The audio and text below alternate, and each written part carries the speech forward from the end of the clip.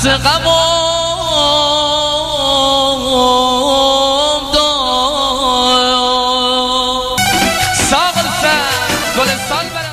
Señoras y señores, estamos de vuelta. Esto es 9FM y estamos en vivo y en directo para todos ustedes desde la Ciudad de México. 62748323, arroba 9FM bajo radio, arroba playlist 9FM por si quieren checar toda la música que estamos programando y Facebook 9FM radio. También nos pueden ubicar vía diagonal todo menos miedo. Ahí está, señoras y señores. ¿Listos todos? ¿Están preparados? Montense a su alfombra mágica, a su alfombra voladora. Viajen con nosotros en la historia de la iranofobia. Ahí está.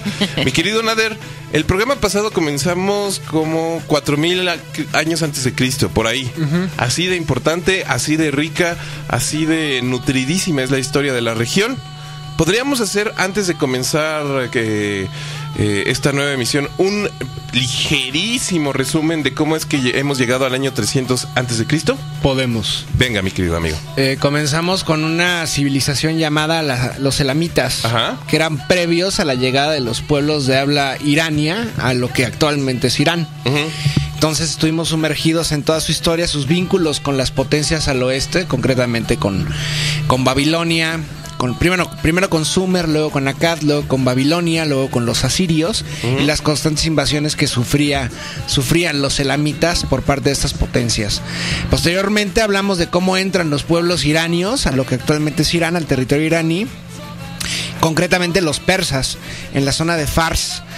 Y bueno, los persas, eh, precisamente más o menos en el siglo V eh, antes de nuestra era, inauguran el primer, el más grande imperio que se tenía conocido hasta la fecha, que es el imperio persa Aqueménida, fundado en honor de Aquemenes. El primero, digamos, gran Shah, Shahanshah, que es el, digamos, el rey de reyes persa, es Ciro el Grande. Ciro el Grande. hablamos, hablamos de otros tantos, por ejemplo, Darío, eh, Jerjes, Artajerjes, y concretamente vamos a comenzar ahora con un personaje llamado Darío, Darío III. Darío III. Que fue sátrapa de Armenia. Sátrapa me refiero a virrey como gobernador de la provincia de Armenia, que creo que lo mencionamos la semana pasada. La historia de Armenia no puede entenderse sin, sin, sin Persia, sin su relación con Persia. Y va a llegar un punto en que Armenia va, a ser disputada por dos de las más grandes potencias que tal vez lleguemos en ese momento. Oye, a esto. Ahí está, mi querido amigo. Fíjate, ahorita que lo mencionaste, me acordé muy claramente que sátrapa, en cierto momento de la historia del español, es un insulto muy duro. ¿Sí? Sí. Pues. un sátrapa. Es que se tenía esa como como esa peyora, ese concepto peyorativo de que sátrapa es justamente alguien que está rodeado de lujos excesivos, de Amaneramientos. Amaneramiento, pues es la, la hubris, ¿no? O sea, la hubris no es un concepto que se traduzca al español, pero es como el exceso, eh, como ir en contra de los dioses, como de la, digamos, la llamada templanza griega, que es lo, eso lo van a tratar de introducir los griegos a, a Persia y al resto del mundo con precisamente en este momento cuando Alejandro entra al territorio del Imperio Aqueménida, intenta helenizar todo, ¿no? Pero va a pasar, va a haber un, va a haber helenización, por supuesto, pero también va a ocurrir lo contrario. Ahí está. Los griegos se van a orientalizar y barbarizar. Ahí está. Y barbarizar sin un concepto peyorativo, o sea, no, no, no. bárbaros, tal cual. Y podíamos abrir este segundo programa justamente. En este momento Trump acaba de anunciar que impone nuevas sanciones a Irán. Nuevas sanciones a Irán. A las aerolíneas, por ejemplo, ¿no? ¿Qué les va a hacer? Eh, no, no, no, apenas acabo de ver estaría increíble que Estados Unidos, no, no estaría increíble, pero en un mundo distópico, divertido y pensado por ¿Cómo se llama este director de cine salido de la hermosísima escuela de los Monty Pythons? Este Terry Gilliam. Terry Gilliam. Si, si, el mundo fuera una representación de la mente de Terry Gilliam, que las eh, sanciones de Donald Trump o de los Estados Unidos en su historia se hubieran parecido más a las sanciones de imperios mucho más antiguos y que, por ejemplo, las aerolíneas ahora eh, pues toda la gente, todas las aeromosas tuvieran que atender de rodillas, por ejemplo. Aeromosa es muy despectivo. ¿Ah, sí? Pues es que es moza del aire. Aeromosa. ¿Sobrecargo entonces? Sobrecargo. Ah, no sabía que era despectivo. Sí, ellas lo, te lo toman muy a mal. Ah, Ah, pensé que los sobrecargos eran los varones y las y mujeres eran las aeromosas. No, hay otra manera de decirles, ¿no? Creo que asistente aéreo o algo así. Asistente Creo que aéreo. sobrecargo tampoco les gusta. Sí, pero hay otra manera que también es con A. Ah, no sé. Pero lo de aeromosa se lo toman súper mal. Ah, sí. Sí. Oh, no sabía. Bueno, mira, mi querido Nader, de lo que nos vamos enterando día con día. Es un, es un mundo muy cambiante este. Estamos tratando de mantenernos al día. Estamos en constante cambio. Estamos tratando de ubicar nuestras pequeñas áreas de micromachismos. El mundo cambia y también nuestros cuerpos y nuestras mentes. Ante todo nuestras mentes, querido Nader. Entonces, bueno, vamos a comenzar en... Ah, una pregunta más antes de comenzar ya de lleno, porque sé que te estás, estás salivando absolutamente para hablar de nuestro queridísimo rey de Macedonia. Pero, eh, ¿cuál era en este momento? Porque creo que es muy importante, pues, sobre todo por el tema de la iranofobia. ¿Cuál era la relación ya de la zona? Ya podemos hablar de un imperio persa, muy claramente. Sí, sí, o sea, tiene dos, 300 años casi que el imperio persa está, es, bueno, no voy a decir estable, pero, Pero es la mayor está- potencia de, del, por lo menos del, de, sí, es la mayor potencia del orbe. En No el hay- capítulo pasado justamente hacíamos un recorrido por todo el mundo conocido en ese momento y cómo todas estas zonas le ofrecían tributos muy particulares a el imperio persa. Algunos le ofrecían anualmente una cantidad de caballos, otros una cantidad de doncellas, otros una cantidad de Eunucos. eunucos, otros una cantidad de pimienta, cosas por el estilo. Eh, no, ya estamos hablando de una extensión de territorio gigantesca, espectacular. Pero, ¿cuál es la relación en estos momentos antes de pues, la llegada de esta expresión muy clara de la neurosis occidental, Alejandro Magno, eh, de Persia con el mundo? Pues En sus fronteras, Sí, sí, en sus eh, en sus costas, ¿cuál es su relación? La mayoría de los problemas del imperio persa eh, en ese momento y por lo general siempre no ocurrían en las provincias, en las satrapías. Ocurrían dentro de del actual territorio iraní. Digamos, las satrapías centrales, lo que es, eh, por ejemplo, la zona persa, la zona parta, la zona meda. Hay...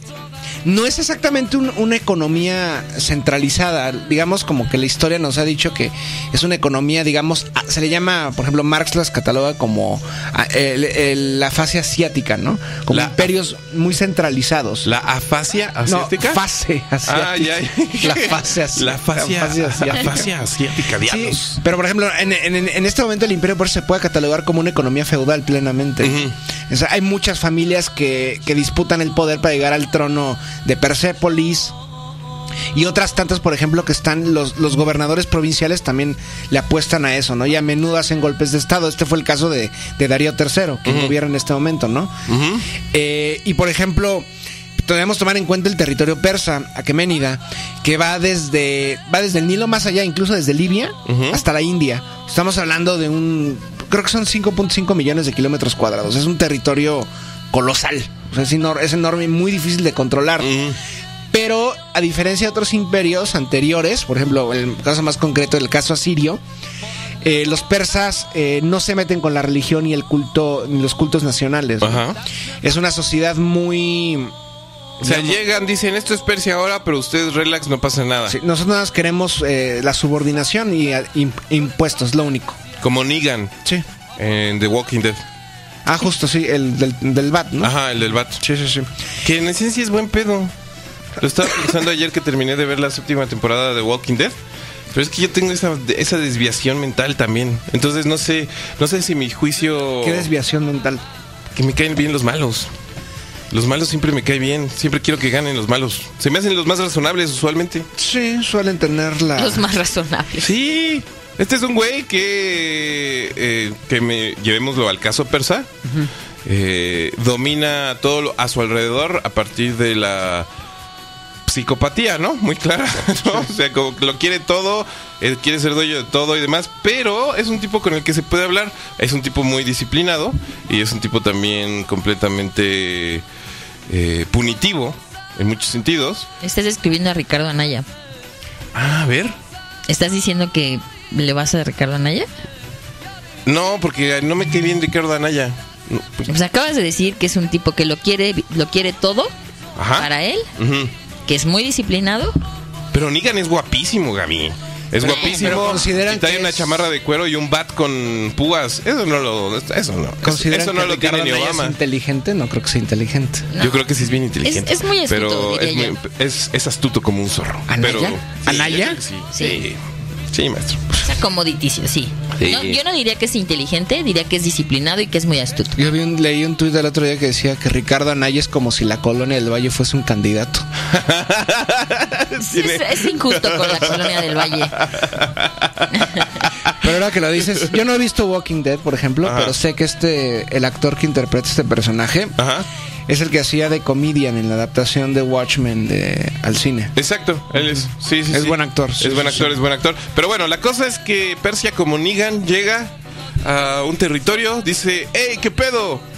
Todos tranquilos, ahora son de mi propiedad, no va a pasar nada malo, a menos de que ustedes quieran que pase algo malo. Me imagino que esa es la postura. Sí, sí, sí. Pueden seguir rezándole a quien ustedes gusten. Aquí traemos un leoncito barbón por si les interesa echarle un ojo y prenderle una veladora de vez en cuando. Pero si no es el caso, adelante. Nada más denme mis eunucos con puntualidad y estamos todos tranquilos. Bienvenidos paisanos al imperio persa. Pues es el caso, por ejemplo, de los eh, judíos que están en cautiverio en Babilonia. Que eso de cautiverio hay que también tomarlo con pinzas porque hay muchos que ya tienen su vida hecha y están perfectamente bien acomodados. Pues es que es un cautiverio de cuántos siglos? No tantos siglos, son como 80 años. Sí, algo así, ¿no? Por lo menos un siglo. Sí, bueno, hasta que llega Ciro y digamos los libera y muchos regresan a Judea. Sin embargo, otros se quedan perfectamente bien ahí, ¿no? Entonces, no, los libera el Dios el único y verdadero Dios, mi querido. El único y verdadero Dios. Sí. Eh, bueno, en esa época había como... Interviniendo en la mente de todos a su alrededor. Diez mil únicos y verdaderos dioses. De hecho, vamos a llegar a eso, ¿no? Eh, no sé si en este programa o en el otro, pero tenemos que hablar forzosamente de, las religiones iranias. Eh, tanto el zoroastrismo como otros cultos que, por ejemplo, importan a, digamos, a Europa. Concretamente, por ejemplo, los, las religiones mistéricas uno llamado el culto a Mitra. Eh, Famosísimo. que no tiene nada de iraní, que no tiene nada de iranio. el culto a Mitra es como, digamos, si eh, actualmente los cultos New Age acuarianos de los 60 pues algo así pasó en el Imperio Romano, ¿no? Los eh, se empezó a cobrar como como fama un, culto supuestamente proveniente de Asia Central y de Irán y de Persia, pero no tenía absolutamente nada que ver con los cultos mitraicos de allá. Esto era como una cosa lo, digamos lo más similar sería como las religiones masónicas, las religiones, las sectas masónicas, las logias masónicas, lo más cercano. Era como una, un culto que pegó mucho en las legiones romanas y se empezó a difundir por todos lados los misterios mitraicos, muy parecidos a los misterios, por ejemplo, de Leusis, eh, los, los misterios eleusinos. Ah, por acá nos, nos dice mi querida Gaby que si la palabra que buscas es azafata. Azafata era la que buscaba. Ah, azafata. Ah, azafata. Ah, entonces azafata está bien, aeromosa no. Pues eh, a ella no les gustaba aeromosa. Ahí está. Bueno, mi querido Nader, discúlpame por interrumpirte, pero hablaremos de eso en algún momento, ¿no?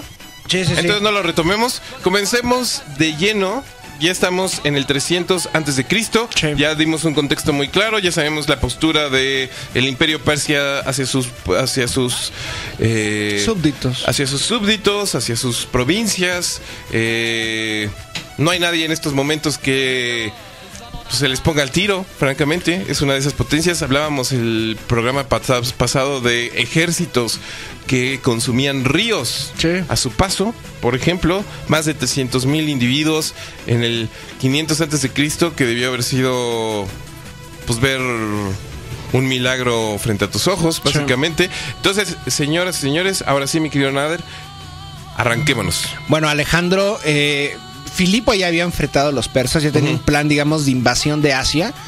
Filipo el Tuerto. Sí, Filipo, Filipo II de Macedonia. Padre de. Padre de Alejandro. Padre entre comillas, porque se supone que el verdadero padre de Alejandro Magno. Zeus. Fue Zeus vuelto una serpiente. Ahí está. Comencemos nuestro capítulo número 2 de Iranofobia. Viajando juntos a una pequeña cabañita allá en Macedonia en donde una mujer le hace el amor a una serpiente. Sí, Alejandro ya había, ya, no nada más había sido divinizado justamente como hijo de Zeus, ¿no? Eh, después de haber arrasado Tiro y, y atacado Egipto, donde en Egipto lo ven como liberador. Porque a diferencia de otras provincias, en Egipto odiaban a los persas. ¿Por qué? Pues porque toda la línea de de los, digamos, de las de los imperios faraónicos egipcios, ¿no? Entonces llega Alejandro y lo consideran luego, luego faraón y es divinizado como hijo de Amón, eh, que va al, oasis de Sigua y lo, y lo, y lo lo consideran justamente hijo de Zeus y Amón. Y ahí se da justamente una de las primeras fusiones de cultos, ¿no? Porque se van a dar las fusiones helenas con los cultos egipcios. Entonces, posteriormente ya viene, con, ya viene de lleno la invasión de Asia, ¿no? Y la primera gran batalla entre los persas y las tropas macedonias, que nada más son tropas macedonias, también ya tienen muchos contingentes de Grecia.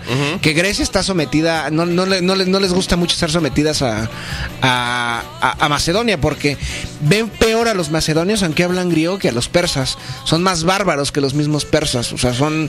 Están al borde del helenismo, al borde de, la animalidad, casi, casi, ¿no? Entonces, bueno. La primera batalla es en Gránico. Gránico es en Troya bueno, lo que en Ilión, digamos, lo que lo que eh, en los textos homéricos se consideraba Troya.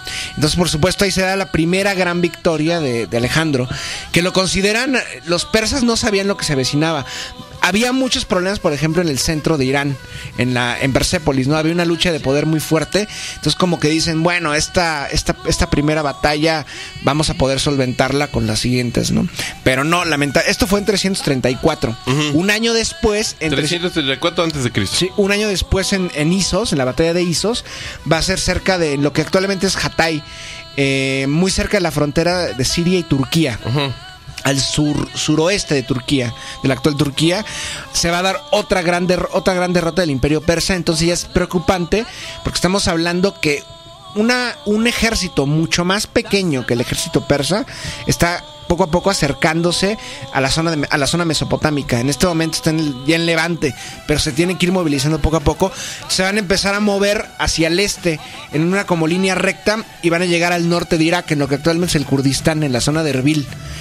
Y van a, se va a dar en una gran batalla, que tal vez sea la más famosa de Alejandro y el imperio persa, que ahí va a estar presente Darío, Darío III, que es Gaguamela. Entonces en Gaguamela el grueso del ejército persa, con digamos, con tropas de 30 naciones, desde guerreros etíopes hasta, hasta personajes a caballo de Asia Central, no van a poder con Alejandro. Recordemos que Alejandro pelea por un lado con las con las falanges. Las falanges son, digamos, estos, estos soldados macedonios, oplitas, con sus grandes lanzas y unos escudos, ¿no? Digamos, son como el gran antecedente de las, de las legiones romanas y hacen con sus escudos, digamos, formaciones específicas para momentos, digamos, distintos de cada batalla, ¿no? Y al mismo tiempo tienen la caballería. Entonces estamos hablando, no se sabe exactamente cuántos... Eh, eh, tropas tenía Persia, se calcula que más o menos entre 50 y 80 mil. Y el caso de Alejandro solamente no rebasaban de los 40 mil y con eso le dieron vuelta al ejército persa, ¿no? Entonces Darío ahí ya ve totalmente minadas sus, sus aspiraciones, por lo menos de conquistar eh, Grecia, eh, y entonces empiezan a retroceder. Y posteriormente, pues ya no queda nada. O sea, lo único que le queda al ejército persa es retroceder eh, más allá de los agros. Recordemos que la zona de Mesopotamia y, Persia están divididos por una, por una, por una cadena montañosa que se llaman los agros. Del otro lado está todo, digamos, todas las grandes capitales persas y Alejandro se empieza a adentrar por eso, por ahí, ¿no? Entonces, primero van a subir las, montañas de los Agros y van a llegar a una zona que se llama las puertas de Persia, las puertas de Anshan. Y eh, va a ser muy difícil porque va, a haber, va a escaramuzas a medianoche, va a perder muchos soldados Alejandro, pero se, cuenta la leyenda que eh, un, un, un, pastor conocía perfectamente cómo, cómo, cómo infiltrarse por el cruce montañoso y hacia el lado persa, ¿no? Entonces guía a Alejandro y Alejandro lo recompensa muy bien y más o menos en el 331, finales del 331, 330, Alejandro ya está en Persia. O sea, ya está en las atrapías centrales y empieza. No, encuentra casi resistencia. O sea, es, preocupante porque Darío va a tener que va, a tener que salir de Persia y dirigirse al oriente, ¿no? Entonces la primera la primera ciudad que va a tomar eh, Alejandro va a ser Susa. Susa, recordemos que el Imperio persa tenía casi cinco capitales. Susa es la primera, la que era, digamos, la más antigua, fue capital de Lam. Entonces, digamos, esa fue la primera eh, capital que pierde eh, Alejandro. La segunda es Pasagarda, perdón, que gana Alejandro. La segunda es Pasagarda, Pasargada. Pasargada había sido, digamos, de la primera capital del Imperio Persa donde estaba la tumba de Ciro. Y también logra eh, tomarla. Y finalmente, eh, Persépolis. Y en Persépolis hay como guarniciones, las, las exterminan muy fácilmente. Y estaba totalmente desprotegido el tesoro real y se hacen probablemente con el tesoro más grande de la historia. O sea, estamos hablando, se calcula que había 3.000 toneladas de oro. ¿3.000 toneladas de oro? ¡Wow! O sea, eran donde se recolectaban todos los impuestos iban a parar a Persépolis. Porque Persépolis era como la capital institucional, la capital real, era más bien una, una ciudad de residencia. Ajá. Entonces se hacen con 3.000 toneladas de oro, eh, ya no encuentran resistencia, está, el, ejército persa está totalmente ya, eh, digamos, los que no, los que no han muerto, ya abandonaron el ejército, desertaron y, este Darío III está, empieza a escapar hacia el este, hacia el noreste concretamente. Se va a querer dirigir a Afganistán. Pero lo van a agarrar a medio camino y lo van a ejecutar sus propios hombres. Sí. Para darle, digamos, el, eh, como una ofrenda a Alejandro para que no les haga nada, no les haga nada, pero Alejandro se va a enfurecer, ¿no? Entonces con esos 3.000 eh, toneladas de oro, ya van, a, ya a poder, digamos, eh, Alejandro patrocinar sus guerras en, en, el resto del mundo conocido, ¿no? Y por primera vez los griegos se van a empezar a extender a, al este, concretamente hasta la India, van a llegar hasta la India donde van a ser derrotados por el Raja y de ahí no van a pasar, pero bueno, mm, acaban con el imperio persa. Se fractura muy fácil el imperio persa, no es tanto la fuerza del imperio, del imperio macedonio, más bien es que era tan diverso el ejército persa, lo habíamos mencionado en la, emisión pasada, que no hay como más que un ejército es como hordas y hordas de personas que van a combatir de distintos estilos, unos a caballo, unos elefantes, unos a pie, guerreros africanos, guerreros de Asia Central, no hay como un orden. Y Darío prácticamente ya no, no es un general. Y ahí tiene, recibe tanto... Eh, eh, hay tantas tales rivalidades en el ejército persa que muchos prefieren que llegue Alejandro y acabe con ellos, ¿no? Con Darío, por ejemplo, ¿no? Hay divisiones internas también. Sí, sí, sí. Y, justamente ahí se acaba el, el imperio persa Kemenida. Pues ahí está. Qué pena. Sí. O sea, fueron...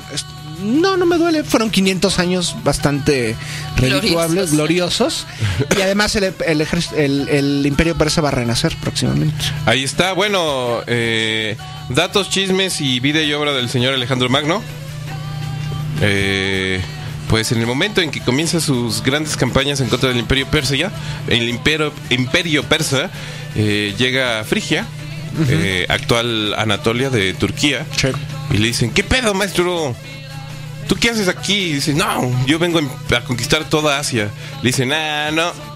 No, A menos de que resuelvas ah. un pequeño acertijo. El nudo gordiano. Ajá. y lo llevan a una carroza que tiene un nudo que supuestamente la leyenda contaba. Esta es leyenda sobre leyenda, metaleyenda. La metaleyenda contaba que eh, el primer fundador de Frigia había hecho ese nudo irresolvible para eh, celebrar que Zeus lo había elegido como eh, líder de toda la región, porque en algún momento había entrado a... ¿Qué era? A la zona. La leyenda era que quien llegara a esa zona con un cuervo en el hombro tenía que ser el dirigente, así se eligió, así fueron las cosas, no me pregunten por qué. La cosa es que hizo este nudo imposible de resolver, que supuestamente la persona que quisiera conquistar Asia tenía que resolver primero que nada ese acertijo, ante lo cual Alejandro pues dijo, ok, va, me rifo se acercó al nudo, le pegó un espadazo, se acabó el nudo gordiano y simplemente dijo, es lo mismo cortarlo que desatarlo. Esa noche, truenos, centellas y destrucción por la noche eh, aclararon que el señor Zeus, posible padre de Alejandro Magno, estaba de acuerdo con la solución del nudo gordiano. Otra anécdota muy divertida de Alejandro Magno y muy delirante es que en algún momento llegó a una ciudad capital en el Mediterráneo y la conquistó muy rápido. La gente, la, la, clase eh, gobernante, mm, La clase gobernante dijo... Eh, no, no, no. 10 y 5. Aquí está. ¿Que ¿Estás controlando su vicio? No, no, no. Dijimos el del celular. No, dijimos el del Sam. No, dijimos el del celular, que era lo que, lo que los dos podíamos ver. Es cierto, dijimos eso. Querida Fuerza Gorila, Benjamín me debe un cigarro, solo que dejamos constancia. regla. Sigue con Está bien, Alejandro mira, yo soy justo como Alejandro. Toma. Eh, no. Luego se los revendo. Nada. No, está bien, no, no te La cosa es que llegó Alejandro Magno a esta ciudad la clase gobernante se fue a un pequeño islote enfrente de la ciudad. Ah, ese es Tiro. Tiro. Eh, llegó con 300 mil soldados. Y le dijo, les dijo, ¡Hey! Viajen conmigo a este pequeño sketch de los Monty Pythons que ahora les voy a plantear. Y les gritó desde la costa, ¡Hey! ¡Hey! Y de repente al otro lado alguien se sumó y dijo, ¡Hey! ¿Qué? Y entonces Alejandro le dijo, quiero ir a pagarle tributo al templo de Hércules que tienen allá. Y el otro dijo, no se puede, hay un mar de por medio, no tenemos como que, que llegues. Ah, pues agarra una, una lanza. No, no, no, no queremos que vengas. Ah, no. Durante un año, Alejandro Magno construyó un puente. Con puros escombros. Con puros escombros. Un año, un puente. Eso sobrevive, ¿eh? En el mar. Durante un año, mientras en ese pequeño islote lo estaban apedreando, fuego, flechas, destrucción, insultos. No llega, no llega. Sí, sí. ¡Ey, no están cansados! ¿No quieren pan? Etcétera. Un año construyendo eh, el malvado puente para llegar simplemente aclararle al mundo quién era Alejandro Magno, destruir por completo el islote y llegar y orar y, y orar en el templo de Hércules. Por el otro lado ya había pasado por Egipto, ya era un dios Egipto eh, en fin, uno de esos personajes que todo lo que tocó, todo lo que lo rodeó, todo lo que eh, afectó su vida y las vidas que afectó, pues cambiaron en muchos sentidos el curso de la historia. Eh, por cierto, el culto de Hércules proviene de Fenicia y de Canaán. Se llama Melkart. ¿Melkart? Melkart es el culto original de Hércules que se, de Hércules que se exporta, digamos, posteriormente a como Heracles a, a, a la Hélade. Pero entonces, bueno, los problemas de Alejandro apenas comenzaban, ¿no?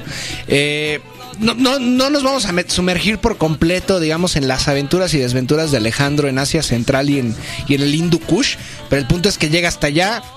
Eh, pero Alejandro muere en el muy joven, en el 323. A los treinta y tantos, ¿no? Sí, a los, si no me equivoco, 32 o 33. Sí, una locura. En Babilonia, después de haber conquistado el mundo entero. Ya muy lastimado. El mundo conocido. Ya, ya está muy herido. Eh, aparte, recordemos que los griegos precisamente y los macedonios eran bastante excesivos, ¿no? En los placeres mundanos. Ah, pues cuenta que Alejandro Magno era un tremendo alcohólico.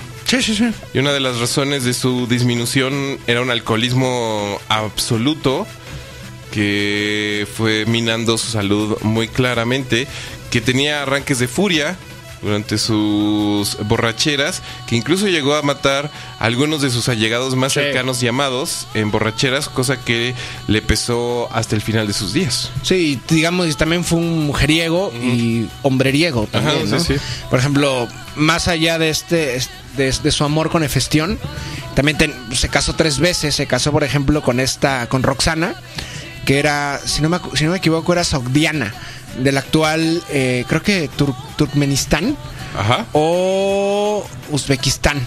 Pero Uzbeka era de la zona del Oxus, de un río que, está, que se llama Amudaria.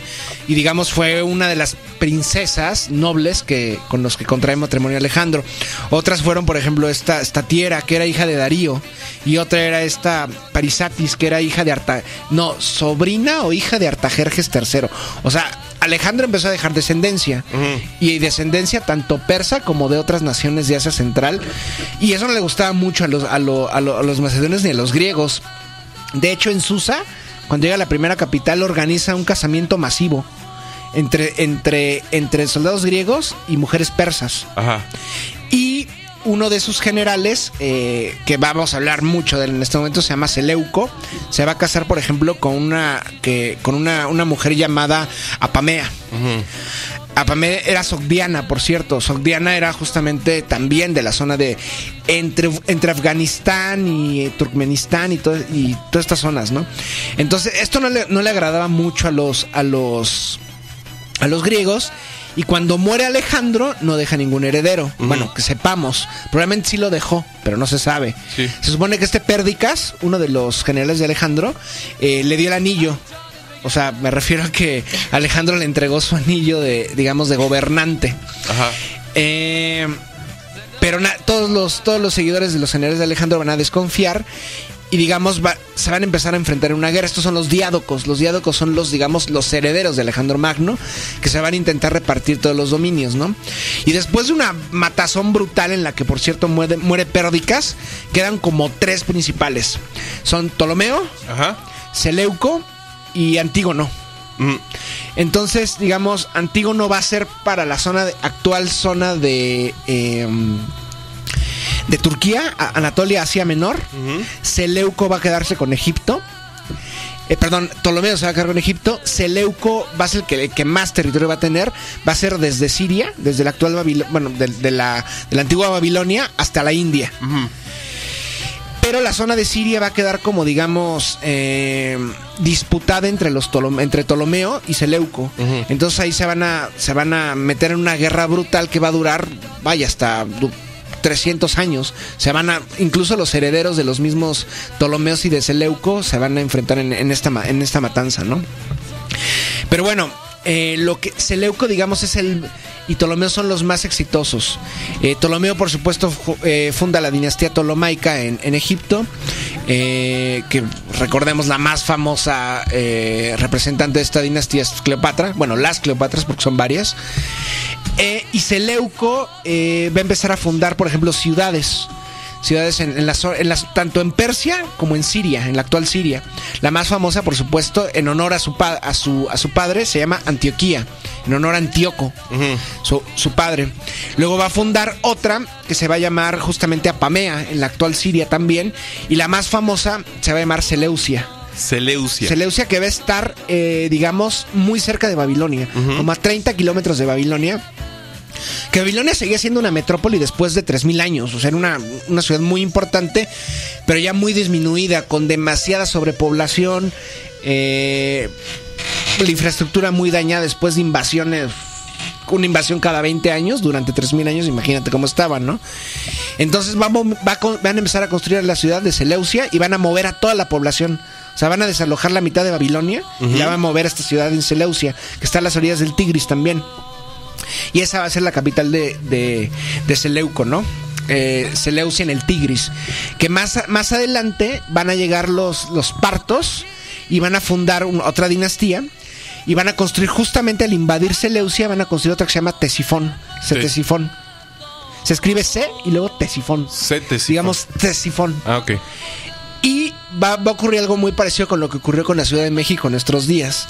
Empiezan a crecer tanto, tanto Seleucia como Tesifón que acaban uniéndose y se hace una metrópoli de 700 mil habitantes. ¡Wow! Estamos hablando. Son inmensas. En el 250 antes de Cristo. En estos momentos, en el 250 antes de Cristo, estas inmensas metrópolis tienen rivales a lo largo y ancho del mundo en términos de cantidad de eh, población. Sí, se, en concretamente tres, digamos, tres rivales, ¿no? Uno eh, se llama Merv Merv está en Asia Central, en la actual Uzbekistán, que va a llegar, va a llegar un momento en que va a ser la ciudad más poblada del mundo. Va a llegar al, millón doscientos mil, por encima de Roma, por ejemplo. Y va a haber otra que se llama Balk. Balk está en Afganistán. Va a llegar también como al millón. Pero recordemos, hay algo eh, esta va a sonar extremadamente ñoño, pero este es de mis periodos de la historia favoritos. ¿Por qué? Porque ocurren cosas muy extrañas, un sincretismo muy raro. Por ejemplo, cuando llegan los griegos a, la zona de a la zona de esa central en la India, van a llevar con ellos el helenismo y todos los cultos, digamos, griegos. ¿Y qué estaba pasando en la India? En la India, en el momento en que llegan los, eh, los diádocos, concretamente Seleuco, hay también un movimiento expansivo en la India para unificar la India a través de un personaje que se llama Chandragupta. Chandragupta. Chandragupta. Él va a fundar el imperio Maurya, el imperio de los Maurias pero que va a recibir una influencia del helenismo. Entonces va, va a salir algo llamado grecobudismo. O sea, el budismo se va, digamos, eh, a mezclar con el helenismo y con los cultos, eh, digamos, tanto presocráticos como, como otras cosas que, provienen del Mediterráneo, ¿no? Entonces va a ser uno de los momentos, yo creo que cumbres de la historia de la civilización, porque eso no se va a repetir nunca más. Y llega un punto en que eh, en esa zona, concretamente en Afganistán, Pakistán y la India, va a ser un centro de enseñanza eh, helenístico, como budista, como hinduista, y al mismo tiempo de las religiones iranias, zoroastristas. Entonces va a ser, digamos, un momento de relativa eh, paz. Bueno, pero ¿qué ocurre? Después de la muerte de Seleuco, viene otro personaje que se llama Antíoco. Antíoco. Antíoco I, Soter. ¿Soter? Soter quiere decir el Salvador. Maestro. ¿Por qué? Porque al mismo tiempo también es una época, recordemos que los movimientos poblacionales en época son constantes. No solamente del este hacia el oeste, sino del oeste hacia el este. ¿Qué ocurre? Cuando Antíoco llega al poder, que ya él llega en el 281 al, 261, él gobierna 20 años, que por cierto se casa con su, con su madrastra. O sea, uno de los matrimonios de Seleuco fue, fue con una mujer que se llama Estratocine. Estratocine. Y eh, antes de morir, Seleuco le permite que se case con la madrastra. Entonces, pues eran griegos, ¿no? Se vale, ¿por qué no? Hay una inmensa industria pornográfica alrededor de la misma idea. Entonces, podríamos decir que no son ideas nuevas. También bajo la justificación, pero eran griegos. Ah, buena pregunta. Ah, ¿será que así como la palabra niga eh, pues es muy, muy acotada el fenómeno eh, de la de la viuda tendría que ser solamente aplicable para el mundo griego? Quizá. Tal vez, no lo había pensado. Así como yo puedo decirle prieto a alguien. Ajá. Por mi moreno morenes. Ajá. Eh, tal vez solo el mundo helénico debiera explotar esa esa región oscura del pensamiento. Y todo el resto es apropiación cultural. Ajá. Japón, tremendos ladrones de, del culto a la viuda eh, griego. A los griegos eran perversos, eran, eran perversones. Sí, eso sí tengo que poner, me tengo que amarrar las manos o sentar en ellas. No dejo de agarrar la, el, micrófono. tubo del micrófono. sí, ya te vi. Es, que tengo un problema con las superficies. Cualquier cosa porosa, eh, metálica, con hendiduras, siempre quiero tomarla y acariciarla y agarrarla. Percibir, sentir a través del, tacto. sí, qué interesante, mi querido Nader. Qué interesante. No es que salté de inmediato.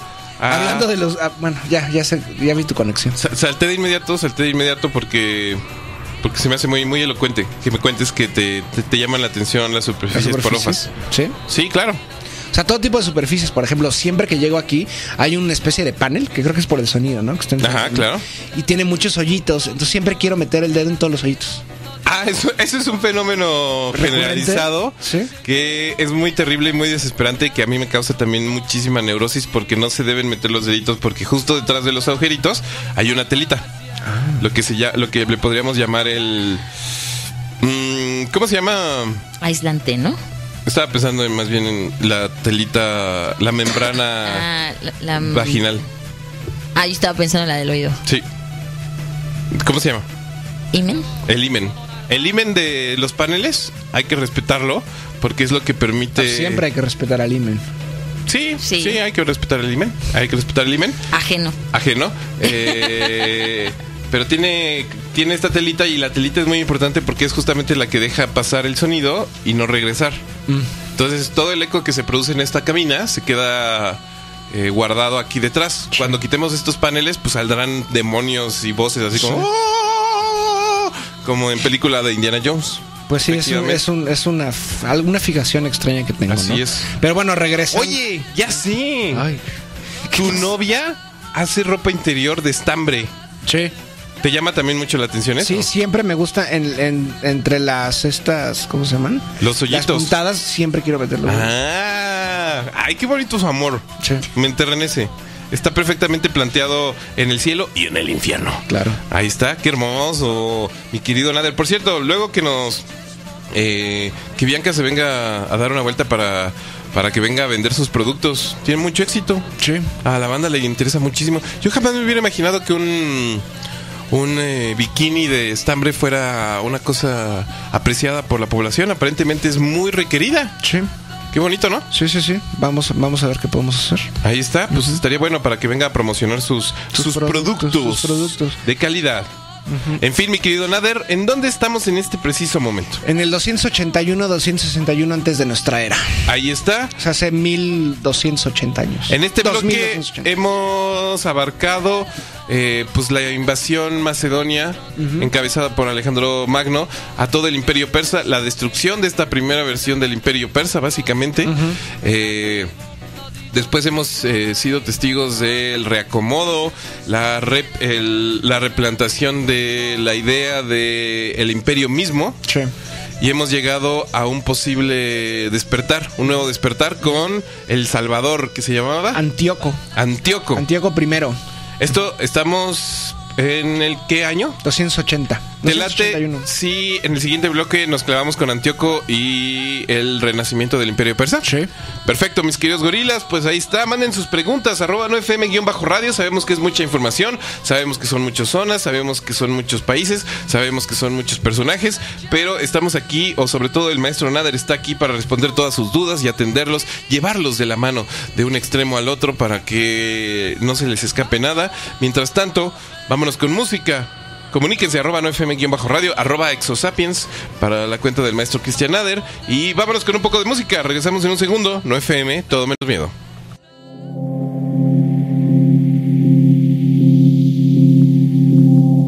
No FM.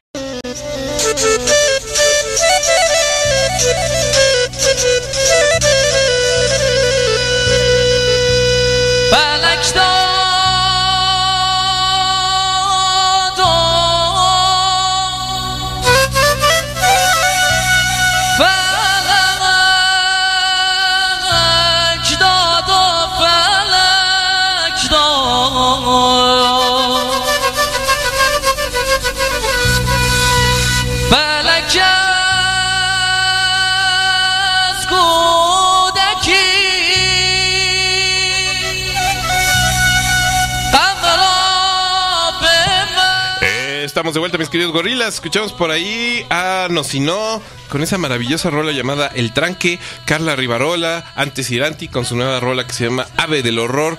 Eh, de, de, Creo que. La, la Carla, ¿de dónde es? Creo que es veracruzana. Ay, no sé, no, estoy diciendo alguna improperio. Bueno, es mexicana, eso lo sabemos muy claramente. Y eh, pues está cambiando pues, toda la cara de su proyecto. Ahora conocido como Carla Rivarola, tal cual. Antes Iranti, eh, nuevo sencillo, Ave del Horror. Antes escuchamos a Georgette, que se escribe G-R-G-T-T. Ya saben cómo son los chavos.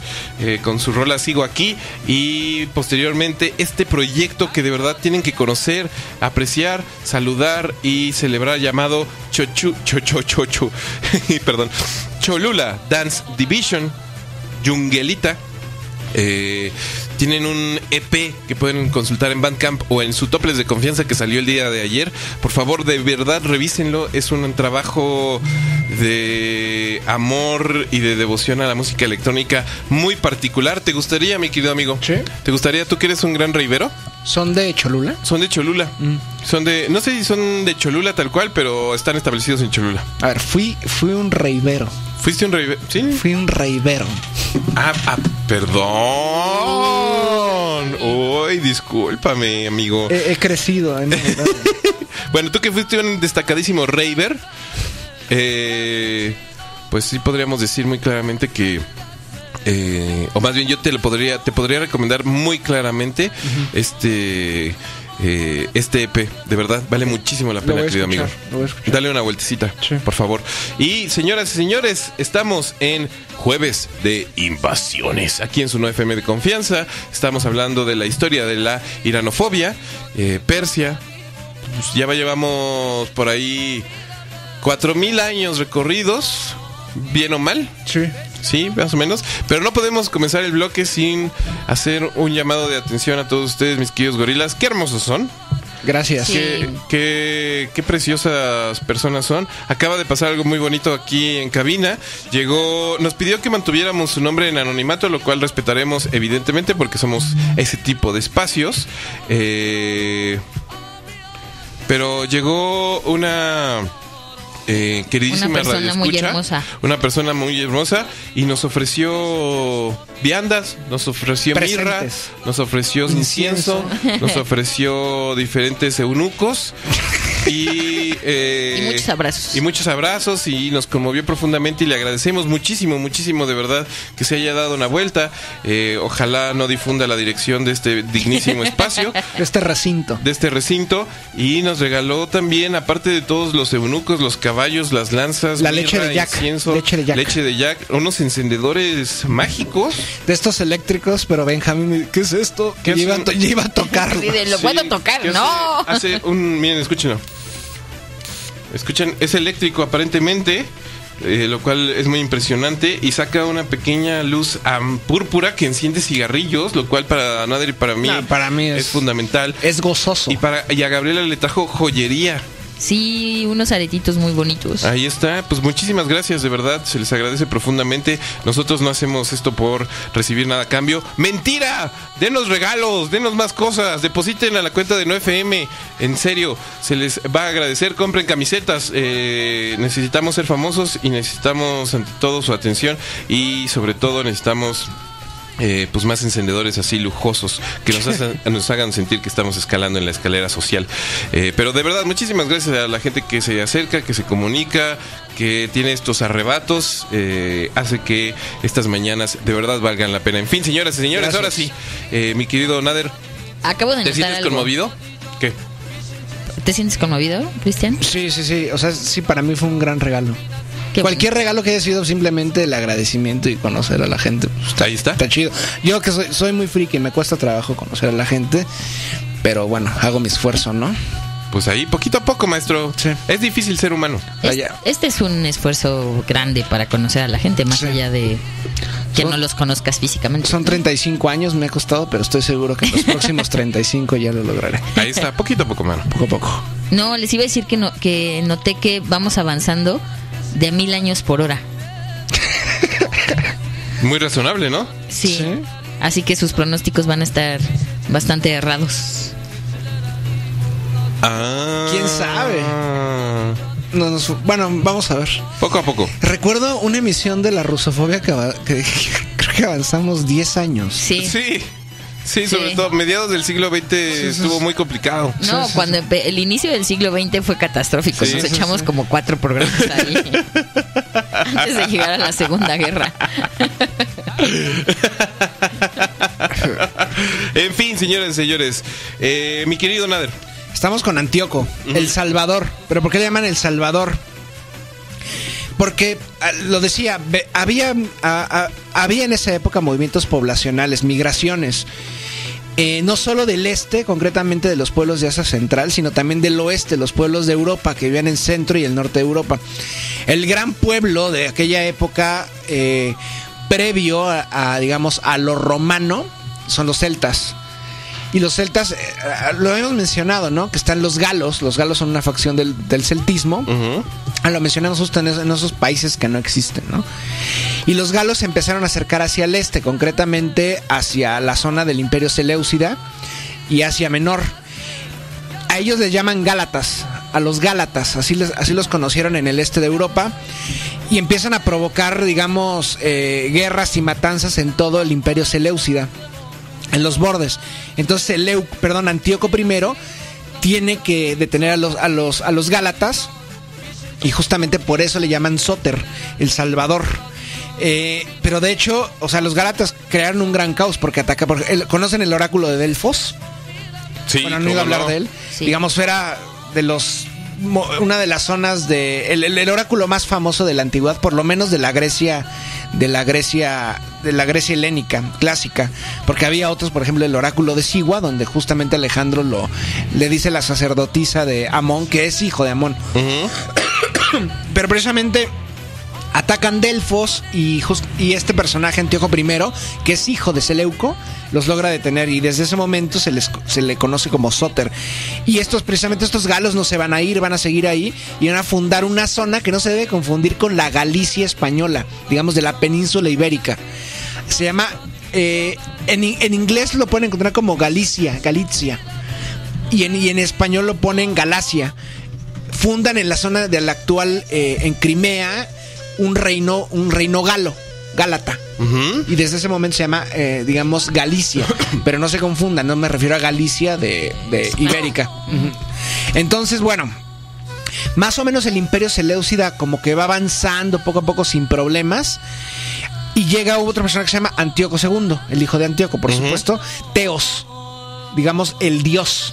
Ah, oh. Porque eh, ¿Tienen, debilidad para ese tipo de títulos un poquito exacerbados, ¿no? Sí, sí, sí. Al igual que Alejandro decía ser, ser hijo de, eh, de Zeus y de Amón, Antíoco II decía ser hijo de, de, Apolo.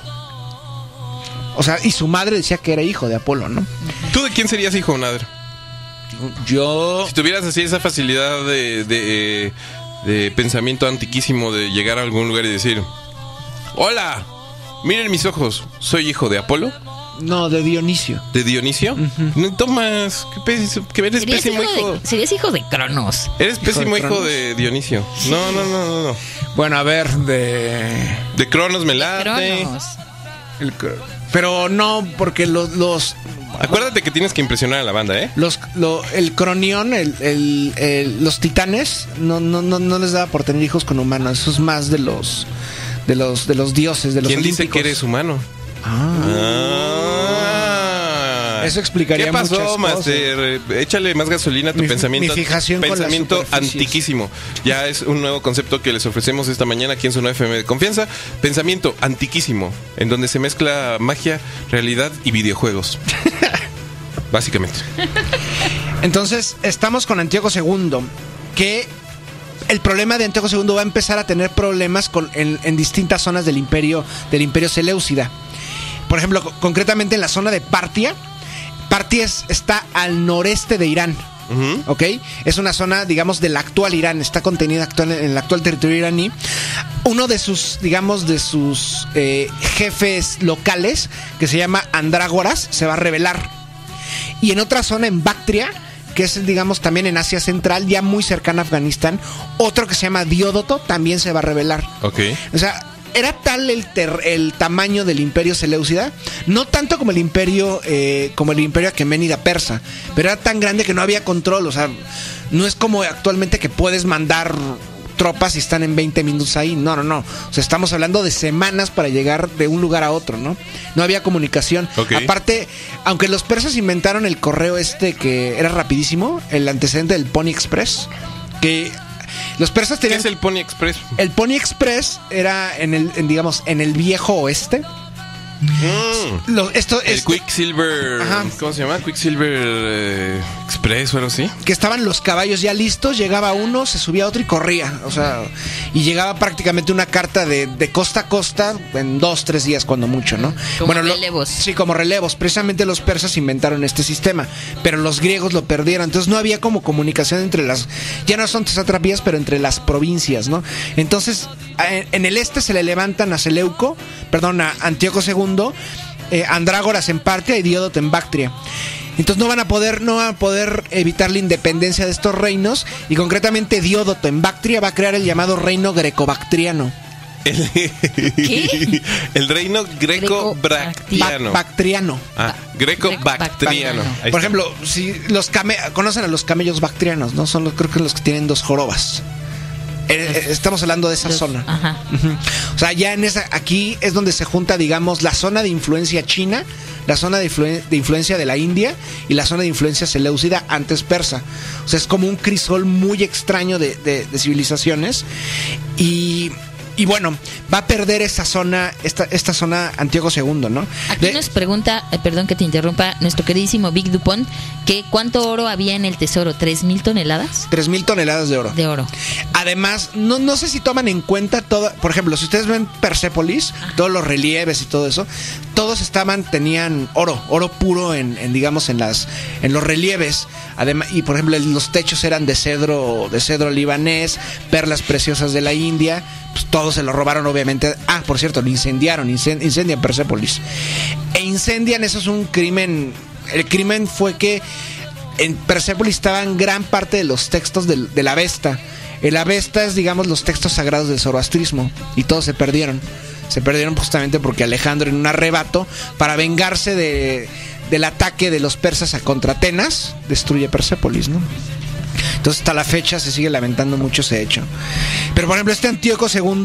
Eh, ¿Tú lo lamentas? Sí, pues es que. ¿Te despiertas de repente en las noches? Ah, no, no, no. no, Persepolis. No, Persepolis, no. No. Ah, era un sueño. ah, oh, no. Y lloras un poquito. Oh, todo lo que perdimos. Yo sí te imagino así, Nader. Entonces, yo sé que tú vienes aquí con esta actitud de de gente inalcanzable, pero sé que debes tener momentos duros de debilidad. Sí, tengo, por ejemplo, también es muy famoso cuando se incendia las bibliotecas en Alejandría, ¿no? Y eso también te afecta. Sí, por supuesto. Pues ahí está. Por supuesto. Sí, cuando hay un corazón detrás de todo eso. Imagínate, traje el otro día, no sé para qué programa, traje un libro que creo que para justo hablando de, la rusofobia. Ajá. Y se dañó muchísimo en la mochila, ¿no? En el, en el trayecto del metro y todo eso. Y, me lamenté muchísimo, lo sufrí bastante por dos semanas. ¿Por dos semanas lo sufriste? No, es que como lo que cuestan los libros, Benjamín. Eso sí, es, es, es, una industria eh, pujante en ese sentido, ¿eh? Sí. Sobre todo ciertos sellos editoriales, sí, es una barbaridad. Entonces... Malditos. Malditos. El caso de Antíoco también es importante, por ejemplo, volvemos otra vez con las mujeres griegas, ¿no? Ajá. Él está casado con una mujer que se llama Laudice. De hecho, van a fundar una ciudad en, eh, en, que se llama La Odisea, que sí, o sea, no, no la Odisea, sino la Odisea, todo junto, ¿no? Eh, la repudia y la manda, digamos, eh, como enclaustrar en una zona lejana, ¿no? Para casarse con la, con la hija de su rival, que se llama Berenice, que es hija de Ptolomeo II. Ok. Ptolomeo II gobierna Egipto. Sí, claro. Pero entonces, esta, eh, su ex esposa se enoja tanto que decide matar a Antíoco II, lo envenena, a sus hijos y a toda la corte, y envenena a todo el mundo. Y así muere Antíoco II. Razonable, ¿no? Razonable. Te quitas eh, rencores, evitas eh, pues estar discutiendo, ¿no? ¿Por qué lo hiciste? ¿Qué te pasó? Eh, ¿Necesitas hablar de tus sentimientos profundos? No, solo pues, los asesinatos. Soluciones rápidas, cabales y... Así se muy, muy, muy, prácticas del imperio. Así se arreglaban las cosas en la antigüedad. Sí. Y bueno, y pasamos de Seleuco III del 225 al 223. Realmente no pasó en dos años. ¿Antes de Cristo? Antes de Cristo, no pasa mucho.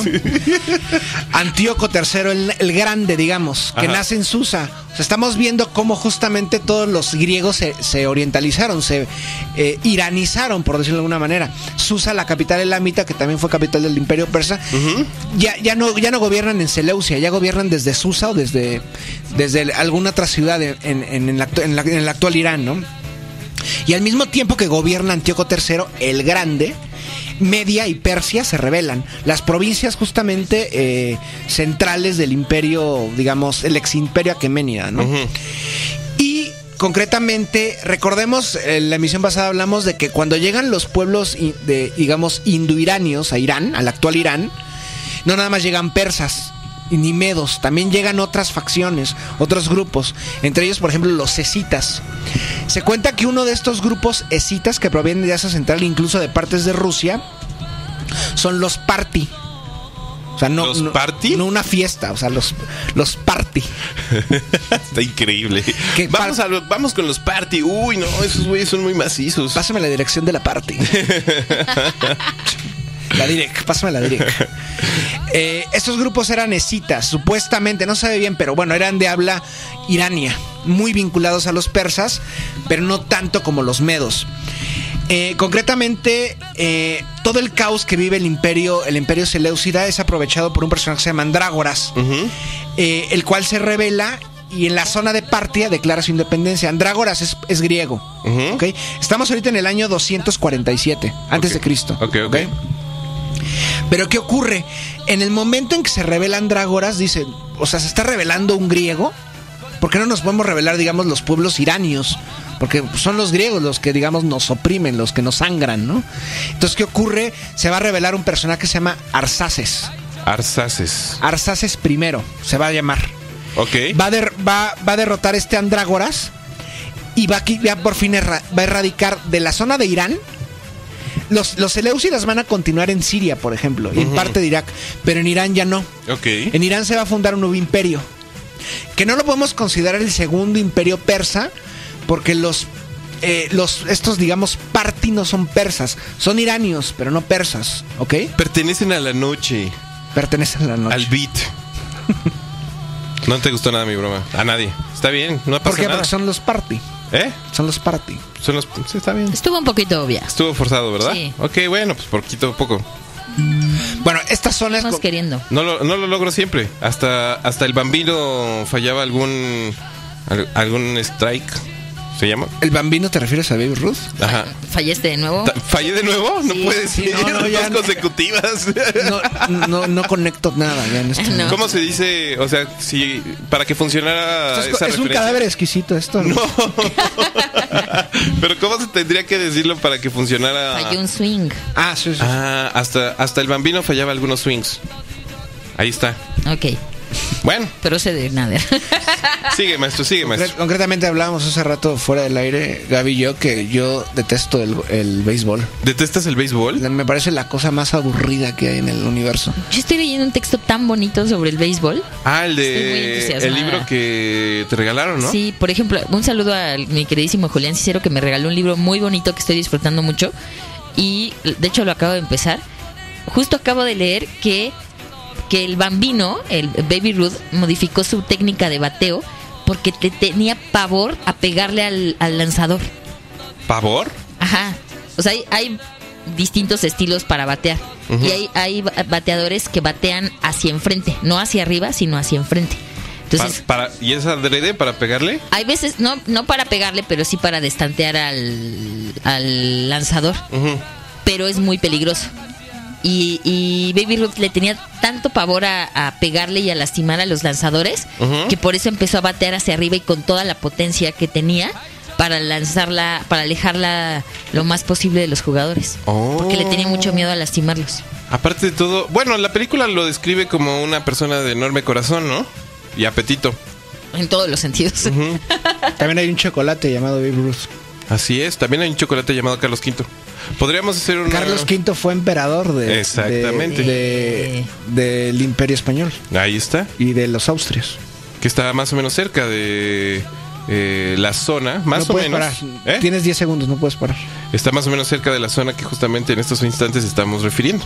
Sí, justamente el Mediterráneo es un gran, es un gran epicentro cultural eh, que nos ha traído culturas entrañables como los romanos, los fenicios, los griegos. Cartago. Cartago, por supuesto. Cartago, por ejemplo, en donde de donde proviene un personaje importantísimo, Aníbal Tuerto, que cruzó territorio de Carlos V, montado en elefantes, para alcanzar las puertas de Roma y posteriormente regresar para tratar de proteger su pueblo, que fue en esos instantes destruido por Escipión. El africano. El africano. Concretamente, los púnicos son precisamente una colonia de Tiro, de la cual hablamos hace rato. Exactamente. Una colonia fenicia. Así cerramos el ciclo, el ciclo de la vida. Ustedes acaban de ser testigos de una cosa muy hermosa, mis queridos y también súper pedante. En fin, continuemos, mi querido. ¿Es que un día podemos echarnos tres horas así? Sí. Sí, podemos. Sí, sí, pueden. Ok, cuando acabemos Iranofobia hacemos un programa así. Estaría muy padre, pero Gaby tiene que participar muy activamente. Porque si no, alguien se va a desmayar. pero, sí, sí, sí lo podemos hacer. En fin, mi querido amigo. Entonces, ¿En dónde estamos? Estamos en este personaje Andrágoras eh, aprovecha el caos del imperio Seleucida y se levanta y se independiza, concretamente en la zona de Hircania. Hircania está muy cerca del mar Caspio, en el actual, muy cerca de Azerbaiyán. Entonces, al mismo tiempo, un personaje que se llama Arsaces dice, no, no vamos a dejar que los griegos se levanten contra propios griegos y nos vuelvan a gobernar. Entonces decide levantarse y este personaje precisamente es un party. Eh, concretamente me refiero a los partos. Ajá, claro. El pueblo parto que si los, eh, si los aqueménidas eran agresivos y, poderosos, los partos eran mucho peores. O sea, los partos eran poderosísimos. Por cierto, ellos lograron desarrollar una técnica que yo no entiendo cómo no la habían implementado antes, concretamente en la zona de, del Medio Oriente y de Irán, porque los chinos ya lo habían hecho y también los mongoles, bueno, proto-mongoles en ese momento, que se llamaba el tiro parto echarte un tiro en el, con un parto. Con un vamos a echarnos un tiro en la party. vamos a echarnos un tiro en la party con un parto. los, lo, lo, los, par, los party que de hecho son como partni, es que no, no lo puedo pronunciar, no, tranquilo, no, lenguas indoiranias muertas, pero eh, el chiste es que los, los partos iban a caballo y en el momento en que ellos fingían la retirada, y en el momento en que los seguían, digamos, los, los, enemigos, ellos se giraban en pleno caballo y disparaban con sus arcos a las tropas que venían persiguiéndolos. Verga. Ese es el tiro parto. Ah, no hay. Como los mongoles también Algunos deportes que aún. Bueno, deportes. Sí, claro, deportes eh, tradicionales que lo siguen practicando. Sí, claro, ¿verdad? Eso proviene de Asia Central, es esencial, de los pueblos nómadas. Y los mongoles, como que lo, en el mundo occidental lo van a olvidar y los mongoles lo van a volver a aplicar cuando invadan, por ejemplo, en Medio Oriente en el siglo XII y XIII, ¿no? Entonces, los, los, partos a, través de Arsaces, a los partos también se les conoce como, eh, digamos, el imperio arsácida, precisamente en honor de Arsaces. Pero en, el mundo entero son conocidos como los partos, ¿no? Ok. Entonces, eh, los partos van a empezar a, conquistar todo el actual Irán, toda la meseta iraní y todas las provincias iraníes del, del imperio Seleucida, que ya ha sido ya lo corrieron de, digamos, de, Irán.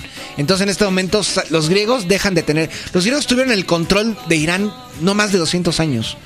O sea, menos 150, según mis cálculos. Que pensando que llevamos alrededor de 4.000 años de historia nada más y no hemos ni siquiera atravesado la frontera del antes de Cristo, eh, pues sí podemos decir que es un suspirito para la región y todas las culturas que han pasado por ahí. Sí, y también tomamos en cuenta que los griegos se barbarizan, se iranizan, pues digo, realmente la historia de Persia, desde la, bueno, no desde, el Am, pero desde del protoimperio aqueménida hasta la fecha, es continuamente iraní. Bueno, tal vez en el momento de la arabización no tanto, pero o sea, es, es, interesante ver esto, ¿no? Es continua y hay una conciencia histórica y una conciencia de la historicidad del pueblo persa. Claro. Que en este momento, pues justamente sirve para la defensa de la República Islámica de Irán. Ya llegaremos a eso, ¿no? Entonces los partos tienen la gran ventaja de que ellos empiezan a controlar el tráfico de el tráfico de mercancías. Recordemos que Irán está en medio de Asia Central por, ende de China y del mundo mediterráneo y del Medio Oriente, ¿no? Entonces ellos tienen control de las rutas de, las especies, precisamente, ¿no? Entonces ya para el 165 antes, antes de nuestra era, los partos controlan todo Irán y ya controlan también parte de Mesopotamia, ¿no? Y ya se consideran Shah, Shahanshah, o sea, rey de reyes. Ok. asuman el mote persa, ¿no? Ya controlan Babilonia, ya controlan Susa y lo más importante, llegaron hasta la India. O sea, ya nuevamente se ha reestructurado el imperio persa quemenida, pero esta vez en, digamos, en, manos partas, ¿no? Eh, y al mismo tiempo ya fundaron esta ciudad que va a ser su capital, que se llama Tesifón, que va a estar muy cercana a, a, la zona de, a la zona de Babilonia. El punto es que eh, llegamos, por ejemplo, a, con Mitrídates. Los Mitrídates. Uno gobierna en el 165 y el otro en el 124. Y ahí ya hay contactos y embajadas concretas eh, entre, los, entre los pueblos partos, entre Irán y China. Ajá. ¿Ok? Ya ya hay, digamos, un, ya hay embajadores en, las cortes de los chinos, eh, que todavía no es la China unificada, no es, el, no, es la corte del gran emperador chino, Ajá. pero ya están próximos a hacerlo, ¿no? Ahorita están, creo que es la época de los reinos combatientes. La, época de los reinos combatientes. Ahí más o menos de qué época estamos hablando más. Estamos en el 124 al 87 antes de nuestra era. Ok, O sea, hace 2087, 2090 años más o menos. No, 2000 Un suspirito de tiempo. 2100 años. Ahí está. Eh, en el, concretamente en el, en el, año 114 la, la, ruta de la seda queda establecida. Ajá. Y de hecho se hace un pacto de defensa para evitar que los, que los nómadas entren a China y que también entren a Irán. Entonces la corte, de, la corte china y la corte parta ya tienen relaciones para evitar que estos pueblos entren. Concretamente pueblos como los Gudi o los Sakas y los Yeuchi. Los Yeuchi son como los protomongoles, digamos. Eh, el problema es que eh, va a haber peleas, al igual que, al igual, recordemos que estos este, a, pesar de que es un imperio, ellos todavía tienen este, esta, esta idiosincrasia del clan, del clan tribal como nómada, ¿no? aún se conserva. Sí, entonces hay muchísimas luchas de poder. Entonces, esto va a ser un gran problema que va a ser una constante en el imperio parto, ¿no? Eh, pero digamos, ellos van a establecer, por ejemplo, su capital en una ciudad que se llama Nisa. Nisa está en Turkmenistán muy cerca de esta zona de los fuegos perpetuos. Ajá. Los fuegos perpetuos son estas. Qué bonito, qué, bonito que exista algo ya llamado la zona de los fuegos perpetuos. De hecho, en esta zona de, en la parte de Turkmenistán, cerca del Caspio, de, de, de Azerbaiyán, es donde están estos así bueno, es que no sé cómo se les llama, como chimeneas naturales. Ajá. Que son como agujeros en la tierra y que hay gas natural. Sale naturalmente y siempre están encendidos. Ah. Entonces es como una zona muy importante para el zoroastrismo. Los partos, eh, hay algunos que son zoroastristas, ya está oficializado el zoroastrismo, o sea, ya es la religión desde el imperio aqueménida y es la religión oficial monoteísta. Ah, espérate, entonces. Pero es que no me quiero me quiero que el próximo la próxima transmisión sea justamente solo de religiones. Ah, ok, ok, ok. Porque es un tema muy profundo, por lo ah. menos la mitad de la emisión. Sí, claro, sí es lo que te iba a decir, no nos lo podemos saltar bajo ninguna circunstancia. Ok, va perfecto, Melat. Entonces, entonces van a ser como ocho programas otra vez. Otra vez. Sí, ya lo vi. Sí, ya te diste cuenta, Gaby. Sí. ¿Ya lo sentiste? Yo ya lo sabía. se te, se te se te volvió se te rizó lo que traías rizado de llegada? Sí, no, además yo los escuché eh, muy atentamente la semana pasada. Ajá. Y dije esto. Esto. lo, hicimos de nuevo. ¿Lo logramos? Ajá. Here we go again. Y, eso que era buscar un tema ligerito para no entrarle a la chinofobia. Eh, Vamos a llegar a eso Pero pues, pues, ahí poco a poco, ¿no? Sí. En fin. Entonces, eh, por ejemplo, va a haber, eh, regresando hacia Central, habíamos hablado de la, de la ciudad de Merv Merv va a ser una de las ciudades más pobladas del mundo. Va, va, a superar el medio millón de habitantes. Se le llama como la cultura, a pesar de que ha estado metida en el imperio parto, en el imperio persa queménida y todas estas grandes unidades, digamos, multinacionales, se desarrolló una cultura concreta que como no tiene nombre, se llama la cultura bactria margiana. ¿Bactria? Margiana, porque se, desarrolló en las atrapías persas de ese nombre, ¿no? Y ahí es donde justamente se va a desarrollar el grecobudismo. Ahí se va, se va a hacer una mezcla como de culturas griegas, zoroastrismo, incluso de budismo. Entonces, si ustedes ven la iconografía de la época, van a ver un Buda que parece una estatua griega. Es increíble es realmente una cultura muy... Eh, Eso está interesantísimo. Muy, extraña. ¿Cómo se llama? Eh, la cultura de Bactria y Margiana. O puedes buscar la cultura grecobudista. Ok. Ah, pues. De hecho, cuando se da la... Eh, va a haber un... Es, es lamentable lo que pasa, ¿no? El caos que hay en Afganistán en los 80 con la invasión soviética, el nacimiento de Al Qaeda, el surgimiento del Talibán y posteriormente con la invasión estadounidense, gran parte del patrimonio del patrimonio de Afganistán que era era justamente grecobudista mm. y estaba en zonas como de Kabul, por ejemplo, en los museos, en las bodegas. Y cuando llegan estas, todas estas guerras continuas, pues va a haber un saqueo y una destrucción de todo el patrimonio afgano, ¿no? Y es, son piezas únicas, ¿no? Que no, recordemos cuando los, los talibanes dinamitan los budas en, en Afganistán. Estos budas son parte de la herencia grecobudista. Sí. O sea, antes de que. Antes de que el budismo llegara, por ejemplo, a zonas como China o incluso a Japón, el budismo, Afganistán era budista totalmente. Ok, ok. O sea, podíamos ver a, a, gente de habla irania siendo budistas. De hecho, a esta ciudad de Merv se le, se le conoce como la, la, ciudad de las mil estupas. Las estupas son estas estructuras enormes budistas que, que abundan, por ejemplo, en Tíbet y Nepal. Y bueno, esta zona estaba repleta de esto, además de, de, por ejemplo, templos judíos, de sinagogas judías, de templos zoroastristas del fuego, etc. O sea, era una zona de un crisol y un secretismo impresionante, ¿no? Muy poco conocida en el mundo. O sea, tal vez un foco cultural, un epicentro cultural el menos conocido, ¿no? Ok, mira qué interesante. Sí. Entonces, eh, en el 177, poco tiempo antes de, de, de, por ejemplo, estos Mitrídates, en el 177, un pueblo llamado los Xiongnu empujan a otro pueblo que se llaman, los tengo que leer porque es muy difícil, los Yuesnin. Los Yuesnin son un, pueblo que se les conoce como tocarios. Y, los y este pueblo, eh, Yuesnin, va a empujar a otros que se llaman los Saka. Los Saka, conocidos en Occidente como esitas, de Rusia. Ok. Y estos cecitas, unos empujan a otros.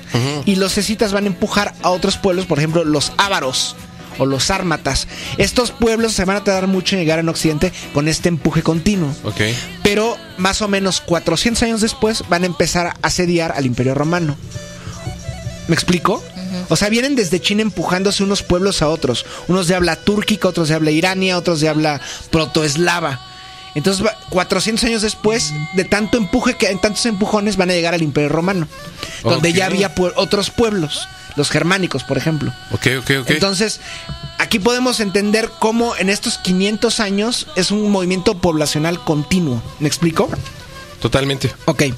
Bueno, vamos a llegar, ya vamos a llegar justamente a una, a una, a una, a una fecha clave al año 121 antes de nuestra era. 121 antes de Cristo. Antes de Cristo. Va. ¿Qué va a pasar? Gobierna Mitrídate II. Mitrídate II es, es, es jefe de de, los partos. De los imperio partos. Es un imperio ya los partos. El ya se conoce como el imperio parto eh, y están ubicados en lo que fue el imperio iraní. Iraní. Sí, digamos, perdón, persa que Persa, persa okay. Ok. ¿Qué ocurre? Los Seleucidas, que siguen existiendo, aunque ya no gobiernan en Irán, ya vienen muy a la baja. Ok, ok. Los Ptolomeos también gobiernan todavía en Egipto. Ajá. Pero ¿qué ocurre? Ha nacido, digamos, una nueva potencia.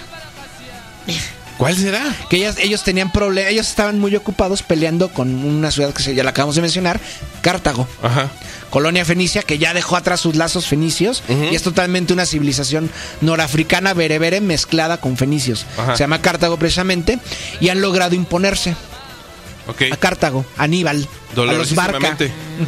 Me refiero concretamente a Roma. Las guerras del pelo, las guerras púnicas, ¿cómo se llaman? Las guerras púnicas son las que se combate Cartago contra Roma. Contra Roma. Pero ya ha vencido Roma. Cartago fue arrasada. Después de la tercera guerra púnica. La, Ah, bueno, los romanos hicieron, trataron de hacer un puente de Roma a Cartago con barcos. Imagínense eso. Para cruzar el Mediterráneo dijeron, ¡ay no! ¡Qué hueva! ¿Quién estaba ahí para decirles que algo era imposible? es la mejor pregunta que jamás nadie se ha hecho. Yo creo que nadie, Gaby. Yo pues creo que. O, más bien había como. Yo creo que sí había gente que decía. no van a poder. Güey, no van a poder. Me voy a citar en esta piedra.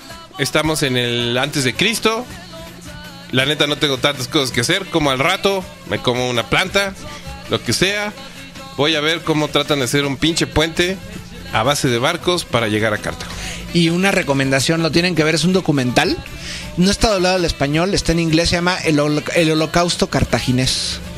sí, terrible. Es un documental de dos horas que narra la historia de Cartago, que ha sido realmente, o sea, lo digo siendo historiador, aplastada por la historiografía desde Grecia y Roma hasta la fecha.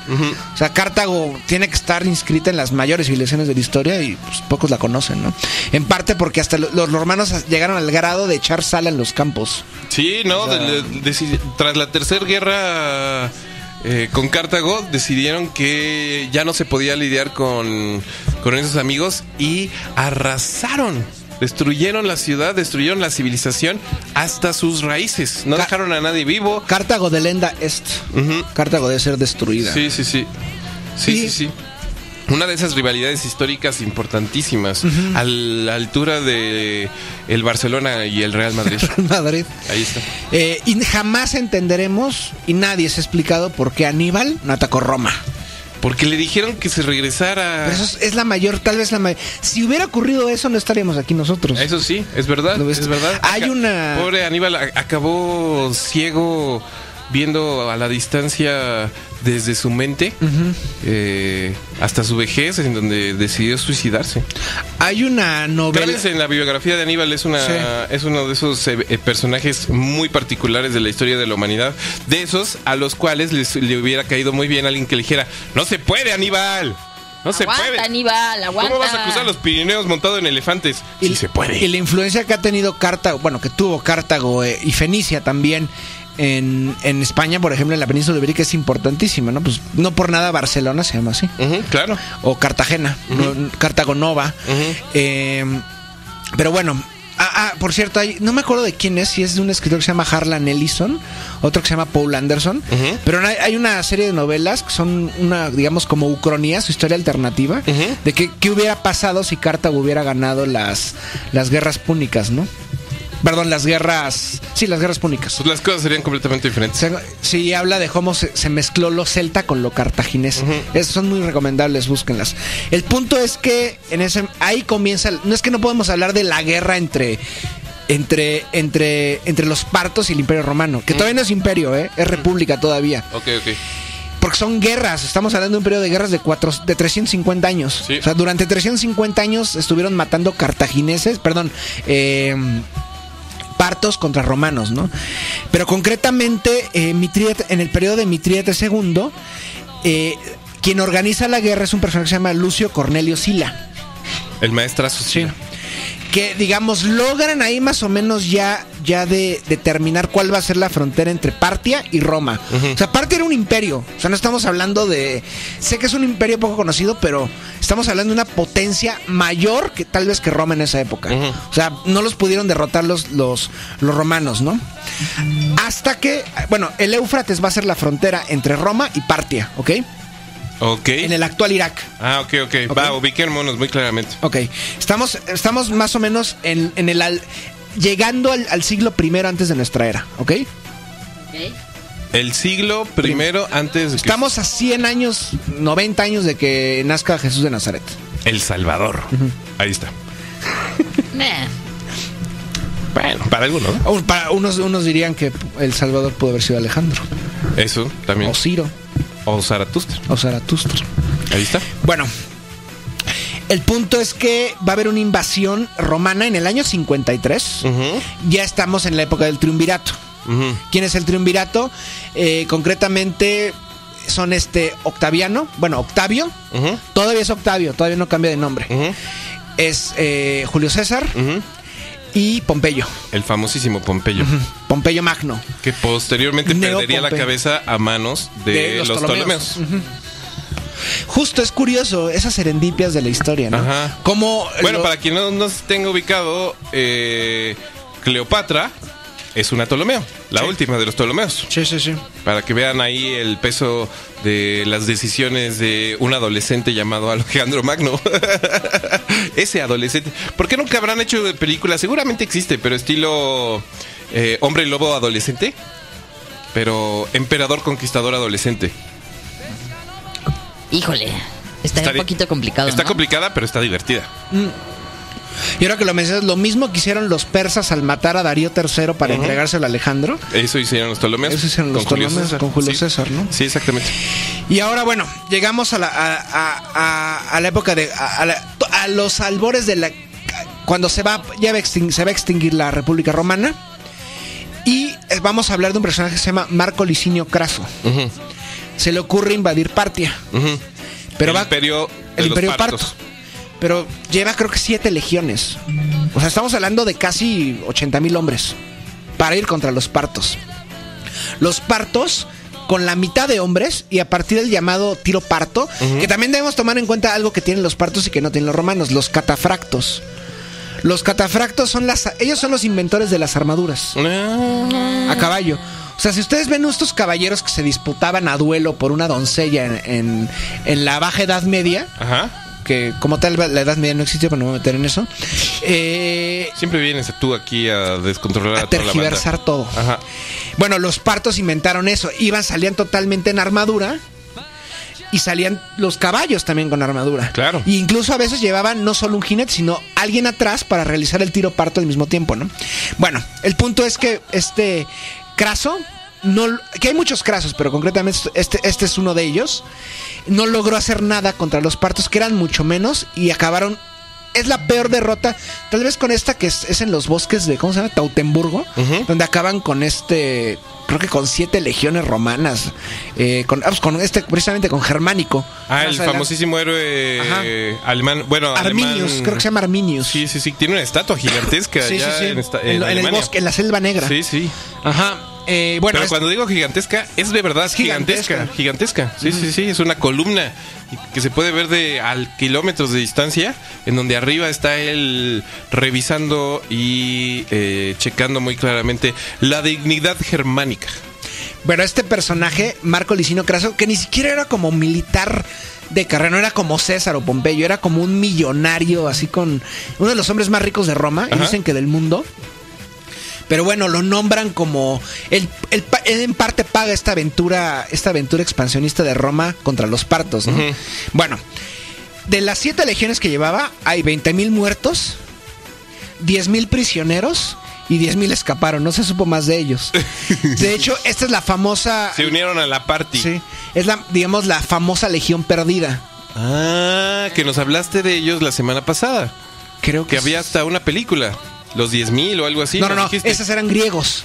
Que los ah. contratan como mercenarios. Eh, un, un, un, un casi. Bueno, no, un sátrapa que estaba en disputa con el gobierno central del imperio, del imperio Aqueménida. estos son romanos. Estos nunca se supo de ellos, de esos 10.000 que pasó con ellos. Hay, y de hecho en China hay como esta, está el mito de que un pueblo fue fundado por legionarios romanos que escaparon porque no podían regresar a la República Romana impresentables al haber perdido y no podían estar con los partos. Entonces se dirigen, se supone que se dirigen hacia el este, pero esto es un mito totalmente, ¿no? Ok, ok. Pero dicen que en China hay un pueblo y cada año organizan festivales y chinos vestidos de romanos porque supuestamente son herederos de los romanos de hace 2100 años. Qué hermoso. Sí. Es una cosa muy Qué hermoso y qué extraño. Bueno, aquí en aquí a la vuelta nada más, cada, cada final de año pues, se puede ver a mucha gente eh, vestida de romana. Así, así la influencia y el peso importante de pues esta civilización. Sí. Entonces, eh, bueno, ¿qué ocurre con este Craso que organizó? Bueno, es capturado Craso. Aquí también entramos en la, en la, digamos, en la leyenda. No se sabe si esto fue un invento. Obviamente fue, fue, fue ejecutado Pompeyo, Pompeyo, porque este era rival de Pompeyo y también era rival de César. Entonces Pompeyo levanta la leyenda que por la avaricia de Craso fue castigado por los partos. ¿Cómo? Que ambicionaba tanto el oro parto que los partos al capturarlo fundieron el oro, le abrieron la boca. ¡No! Y, le y murió bebiendo. Le una probadita de su propio chocolate. Murió bebiendo oro. Yo no creo que haya sido así, pero bueno. Eh, fue ejecutado Craso y fue esta es del probablemente junto con esta la batalla de los de las legiones romanas en la selva negra germánica y con la, el, desembarco fallido de tropas romanas en Britania creo que es de la, la, peor derrota de los romanos. Pues ahí está. No pudieron con los partos. Los partos se mantuvieron eh, intocados por el Imperio Romano en ese momento o después ya hubo... marcaron su marcaron su línea y no pasaban. Siempre hubo guerras. Mm pero no pudieron, los romanos como tal nunca pudieron con los partos, ¿no? Ahí está. si ustedes se quieren conmover muchísimo, mis queridos amigos, los partos, aparte de montar a caballo, montaban camellos.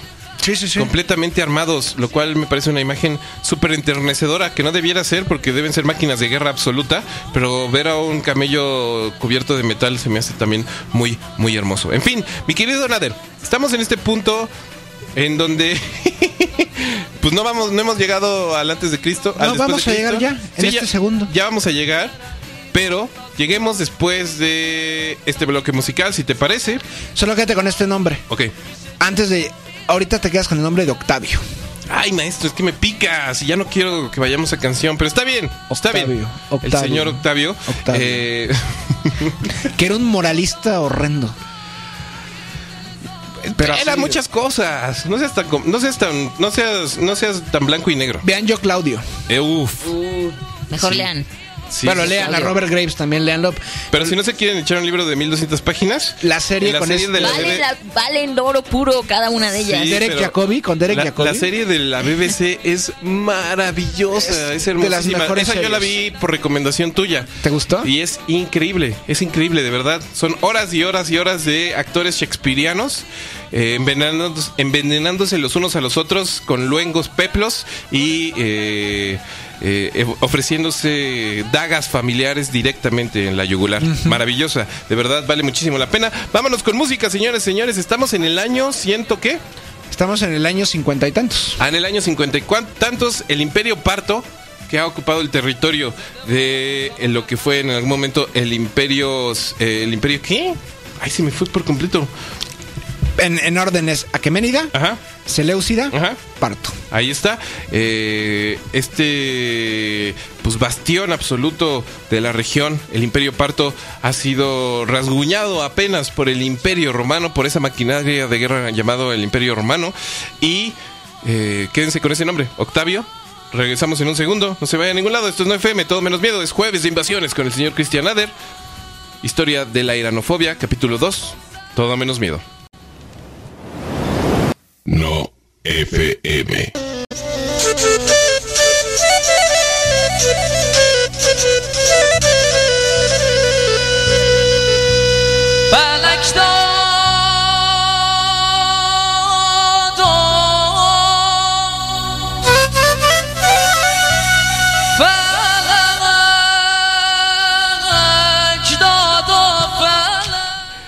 Estamos de vuelta, mis queridos gorilas. Vamos a darle una vuelta a nuestras redes sociales que tenemos un poquito abandonadas. Es momento. Por acá, arroba Sicianina.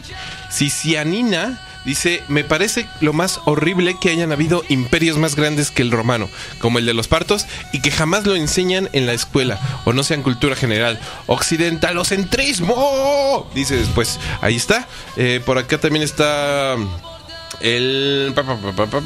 denme un segundo, denme un segundo, denme un segundo, denme un segundo. Big Dupont dice: Gracias, un cálculo rápido me indica que todo ese oro cabe en un cubo de 5 metros cúbicos.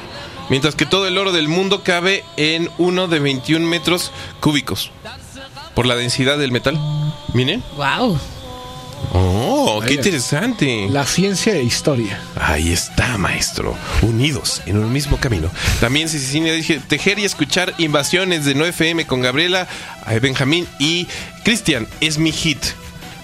Maestra, pues muchísimas gracias. Eh, por acá también.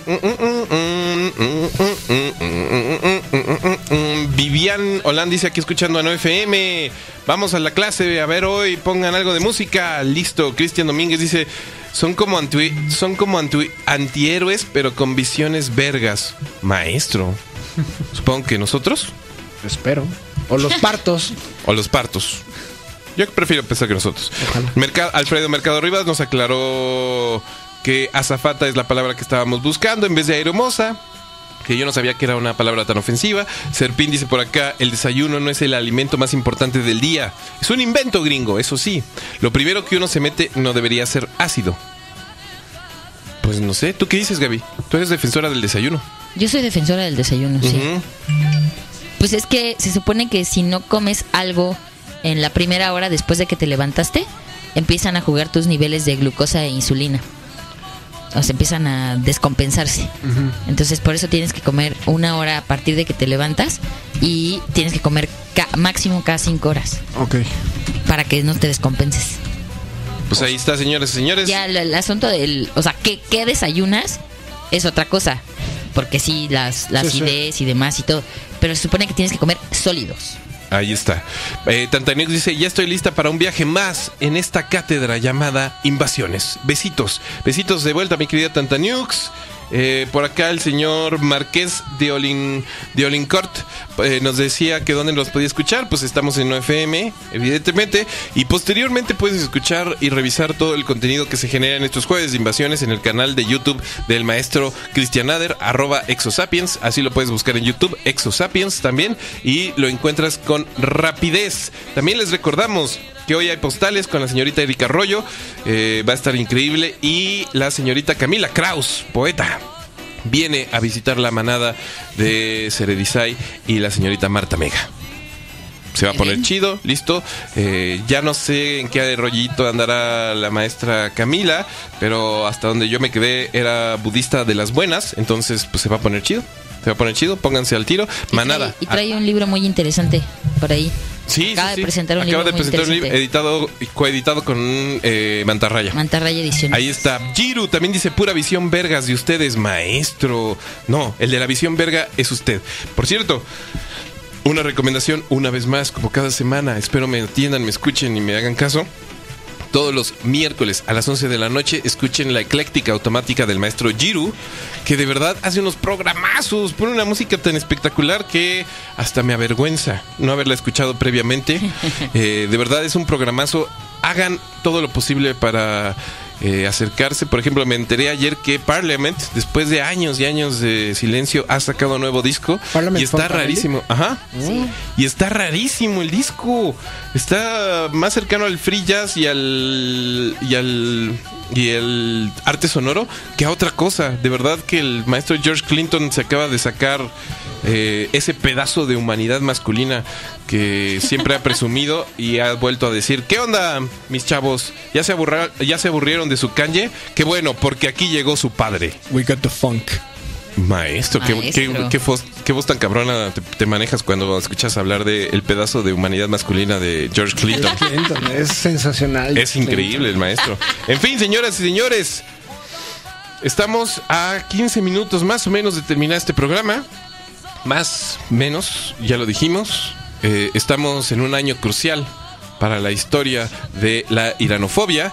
Me gustaría en estos momentos, mi querido Nader, que nos platicaras, eh, antes de entrar ya muy en claro a lo que habíamos dejado al pendiente, el Imperio Parto, ¿qué relación tiene con sus vecinos, por ejemplo, en estos momentos? Sabemos que tiene una relación muy tensa con Roma. Sí, con Roma es tensísima. Más o menos tiene muy bien dominada a a toda Asia Central y muy buenas relaciones con China. Por ejemplo, en el, nove, eh, en el año 97 ya de nuestra era, un general llamado Ban Chao envía a su emisario Gan Jing a, la corte parta. Para, porque quiere saber qué hay más allá del imperio parto, porque los chinos conocen poco, ¿no? Entonces saben que hay otro imperio, porque se han encontrado monedas romanas, tal vez no lo sepan, en Vietnam en el delta del Mekong se han encontrado monedas y artefactos romanos. ¿En serio? Sí, sí, sí, del comercio. Eso, no, tenía idea. Supuestamente a, esa zona sí llegaron los romanos. Eh, vía el sudeste asiático, vía la península arábiga y la India. Pero también se han encontrado últimamente monedas romanas en Japón. En Japón. Sí, sí, sí. O sea, hasta allá llegaba el comercio. Estamos hablando de un comercio internacional muy bien organizado, ¿no? Entonces, cuando este personaje Gan Jing, que era un almirante, un almirante y militar chino, que ya, ya China ya está unificada, le pregunta a los, a los partos, eh, oye, ¿y cómo puedo llegar a Roma? No, obviamente los no querían que se hiciera un vínculo entre los entre la corte china, que creo que son los Han, la, dinastía Han, con lo, con Roma, ¿no? Porque digo, aplastarían por ambos, por el este y por el oeste al, imperio parto, ¿no? Claro. Entonces, no, no se puede. La única forma de llegar es dándole la vuelta a la península arábiga por el Mar Rojo, llegando hasta el Mediterráneo. Entonces eh, no era tan difícil, solo tenían que cruzar eh, Irak, Siria y llegaban al Mediterráneo y estaban en territorio romano. Nuevamente, todos los caminos llevan a Roma. Llevan a Roma. Ahí está. Entonces no hubo esa alianza de entre el imperio eh, entre el imperio chino y el imperio romano, ¿no? Pero pudo haberla, pudo haber existido. Hubiera sido muy loco. Sí, sí, sí. De hecho, gobernaba este Han, le llaman Wang, el, emperador Wang de Han o sea, la dinastía Han. Y en, Roma gobernaba Marco Aurelio. Ok. O sea, era, era la época en que se da este gran. Se busca que, que, se dé este contacto, ¿no? Entonces, los romanos realmente no pueden con los partos, ni los partos pueden con los romanos, ¿no? Se dan unas guerras eternas en, en provincias como Armenia, por ejemplo. Armenia creo que pasó de, de, los partos a los romanos unas 40 veces. Estuvo Armenia oscilando entre las dos potencias todo el tiempo, ¿no? Ok. Y hasta que llega, por ejemplo, en el año 27 antes de Cristo. ¿Con qué nombre te quedaste previo a, Octavio? Octavio. Bueno, olvídate de Octavio. No, no. Y acuérdate ahora de Augusto. El famosísimo Augusto. Renuncia a su nombre, ya no va a ser, va a ser Augusto, César, etcétera, porque es kilométrico su nombre, el primer emperador de Roma. Eh, bueno, no, en ese momento no se le llamaba imperator ni Kaiser, era todavía divo, eran los divos. Y, Augusto va a ser el primer divo de Roma y va a firmar la llamada Paz, Augusta y va a generar la llamada Paz Parta. Pax Parta. La Pax Parta. Ajá. Entonces, ah, es con los partos. Sí. O sea, a partir de, a partir de eso se, genera la, la paz romana es por los partos. Como que logran apaciguar. De hecho, el gobierno romano entrega a Partia, entrega a una esclava que se va a convertir, una esclava romana, de ascendencia romana, se va a convertir en Musa, que va a ser em, emperatriz del Imperio Parto. Ah, la Pax Parta es con los partos. Tiene todo el sentido del mundo ahora. Gracias, Nader. Gracias, mi querido amigo. Ah, mira, nunca había cachado ese. Siempre había pensado que había sido. Eh, en términos muy internos, para que la banda se calmara y empezar a tenerle miedo a una figura muy en particular y que se destru y de tener facciones y familias y demás. Pero no, es, es una paz muy clara con los partos. Sí, sí, sí. Ah. Y de hecho, eh, esto lo hace no tanto porque quieran, quieran, odian, se aborrecen. O sea, los partos y los romanos se aborrecen. Y lo van a heredar cuando entre el siguiente imperio. Ajá pero lo hacen en parte porque no puede enfrentar Roma tantas guerras. Se, le están empezando a acumular, porque están los limes, o sea, los límites del Imperio Romano, el lime romano empieza ya a recibir ya ataques constantes de los germanos, los pueblos germánicos, ¿no? Y van a, además, estos pueblos que ya habían sido empujados por el este, van a empezar a llegar aún pueblos más desconocidos, exógenos, provenientes, provenientes de las estepas euroasiáticas, Europa, ¿no? Entonces los romanos tienen que hacer algo porque no pueden con tantos frentes de guerra, ¿no? Entonces deciden justamente... Eh, crear esta, esta Pax Sparta, que no va a durar tampoco tanto, porque en los siguientes 100 años va a haber muchos conflictos. Los romanos van a acabar copiando modelos de batalla de los partos, por ejemplo, van a crear los Sagitarios. Ajá. Los Sagitarios son, van a imitar a los catafractos van a ser jinetes a caballo romanos, pero que ya van a disparar con arco. Ok, ok, ok, ok. Entonces, eh, bueno, ¿qué va a ocurrir? Eh, vamos a ir acercándonos hasta el, hasta, el año 226-241. El Imperio Parto, por tantas guerras con Roma, Roma en, este, en ese momento, en el, en el siglo segundo, y está en mejores condiciones que, que Partia. Sí. Partia ya está muy mal por muchas luchas internas, porque hay muchos alzamientos de independencia, porque no la India eh, eh, en ese momento el, imperio este de los Maurya se empieza se empieza a difuminar y surge un nuevo imperio en la India que se, se llama el imperio de los el imperio de los Gupta. El imperio de los Gupta. Los Gupta van a empezar a empujar a los partos fuera de Asia Central. Entonces Partia no va a resistir tantos frentes y se va a empezar, van a surgir movimientos de independencia, ¿no?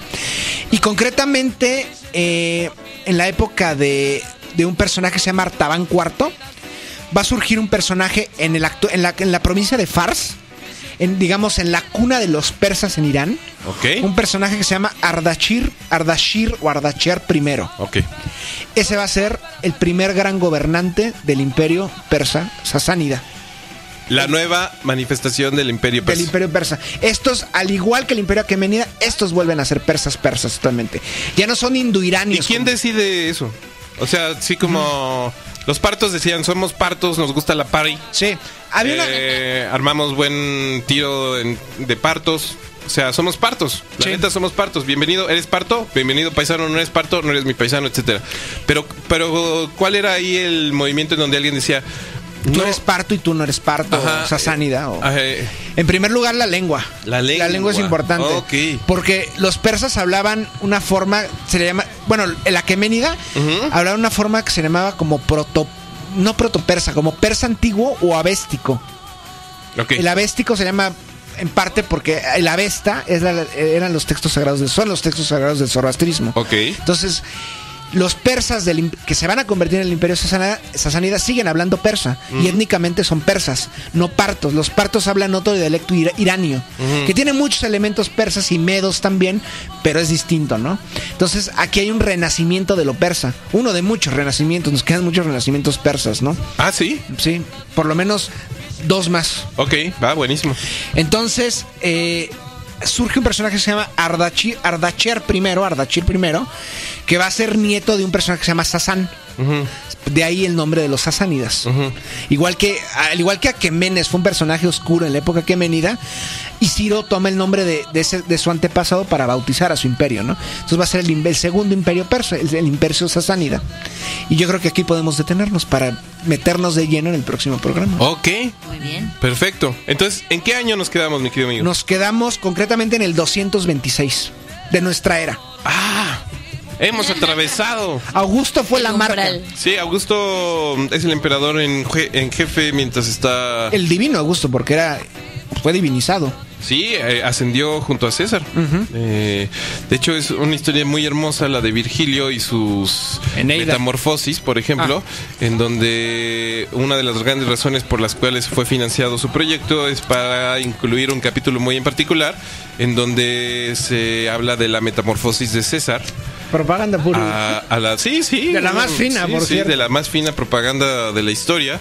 Augusto también divino, hijo y pariente de César. Bueno, no hijo, hijo adoptivo, pero de sangre de César, que en esos momentos ya tiene sangre divina, le encuentran ahí parentesco con los más altísimos.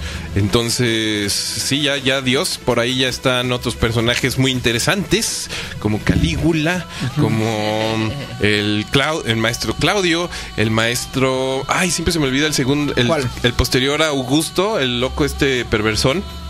Eh, primero es, es Augusto. Es Augusto, luego es Tiberio. Tiberio, Tiberio, el de los pececitos, el famosísimo Tiberio de los pececitos.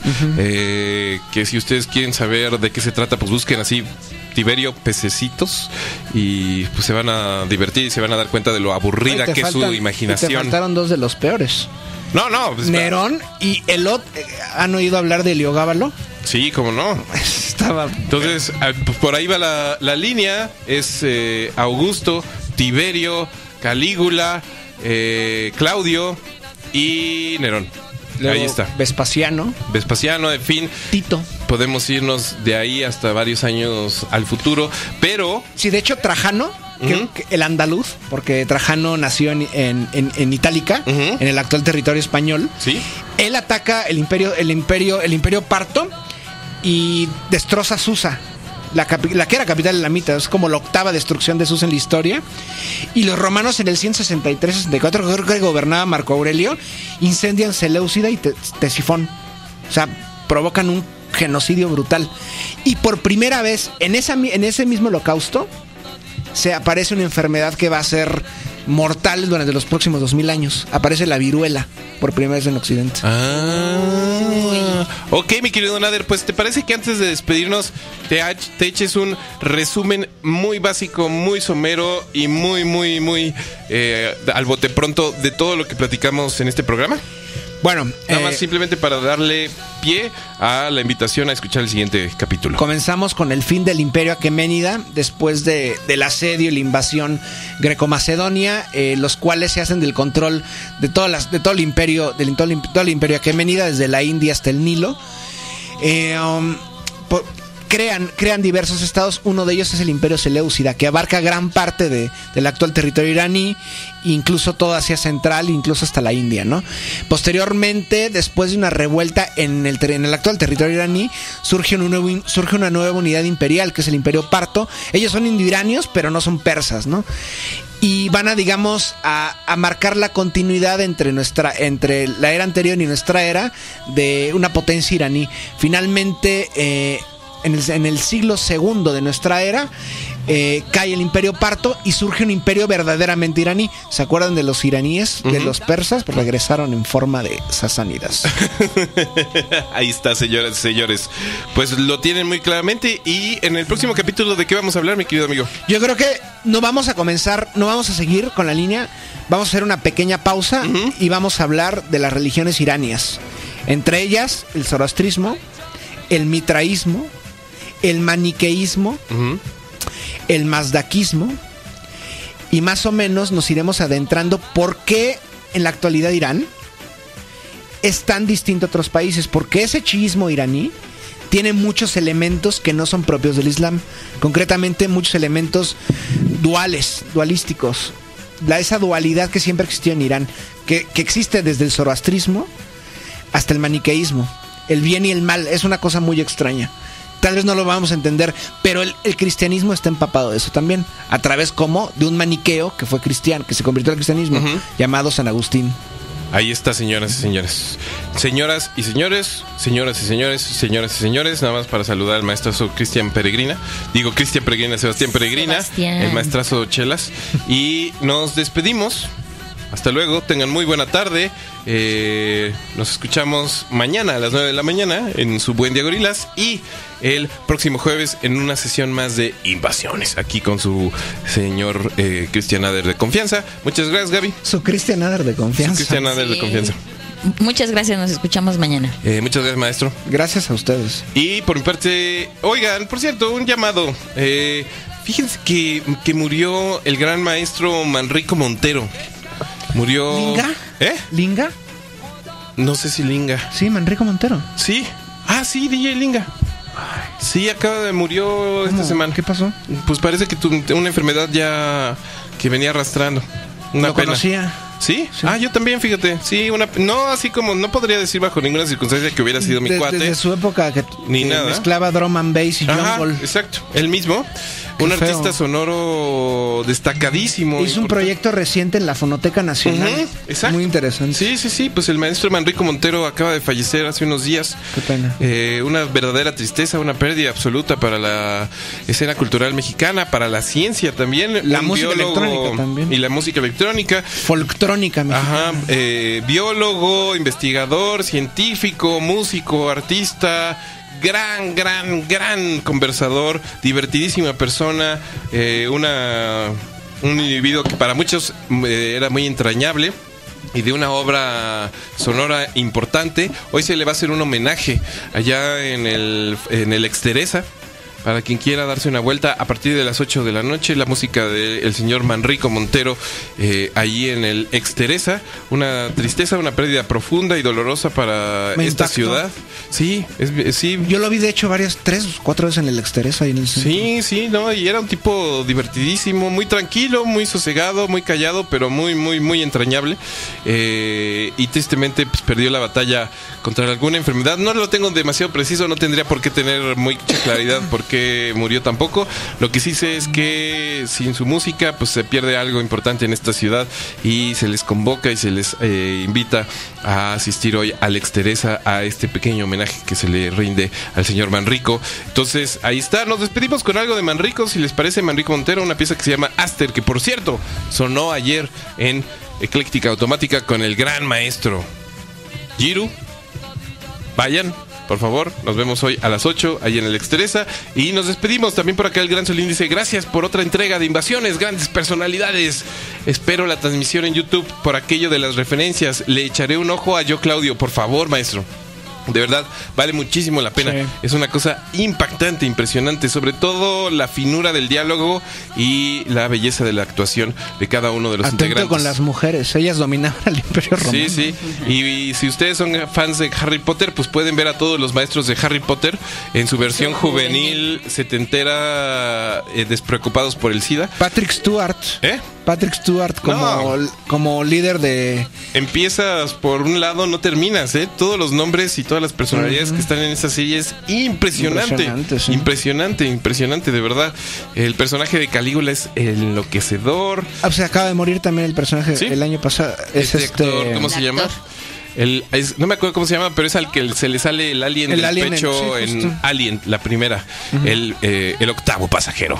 En fin, señores, señores, ahí están todas nuestras referencias, todas nuestras invitaciones. Vean yo, Claudio, asistan hoy al homenaje a Manrico y nos despedimos. Muchísimas gracias por acompañarnos, muchas gracias a toda la gente que nos escuchó. Y por mi parte, solo me queda decirles dos cosas. Sigan siendo eh, sirios, sigan siendo fenicios, sigan siendo musulmanes, porque el mundo necesita gente como ustedes. Hasta luego, tengan muy buena tarde. Y va por Emilia, y va por Juana.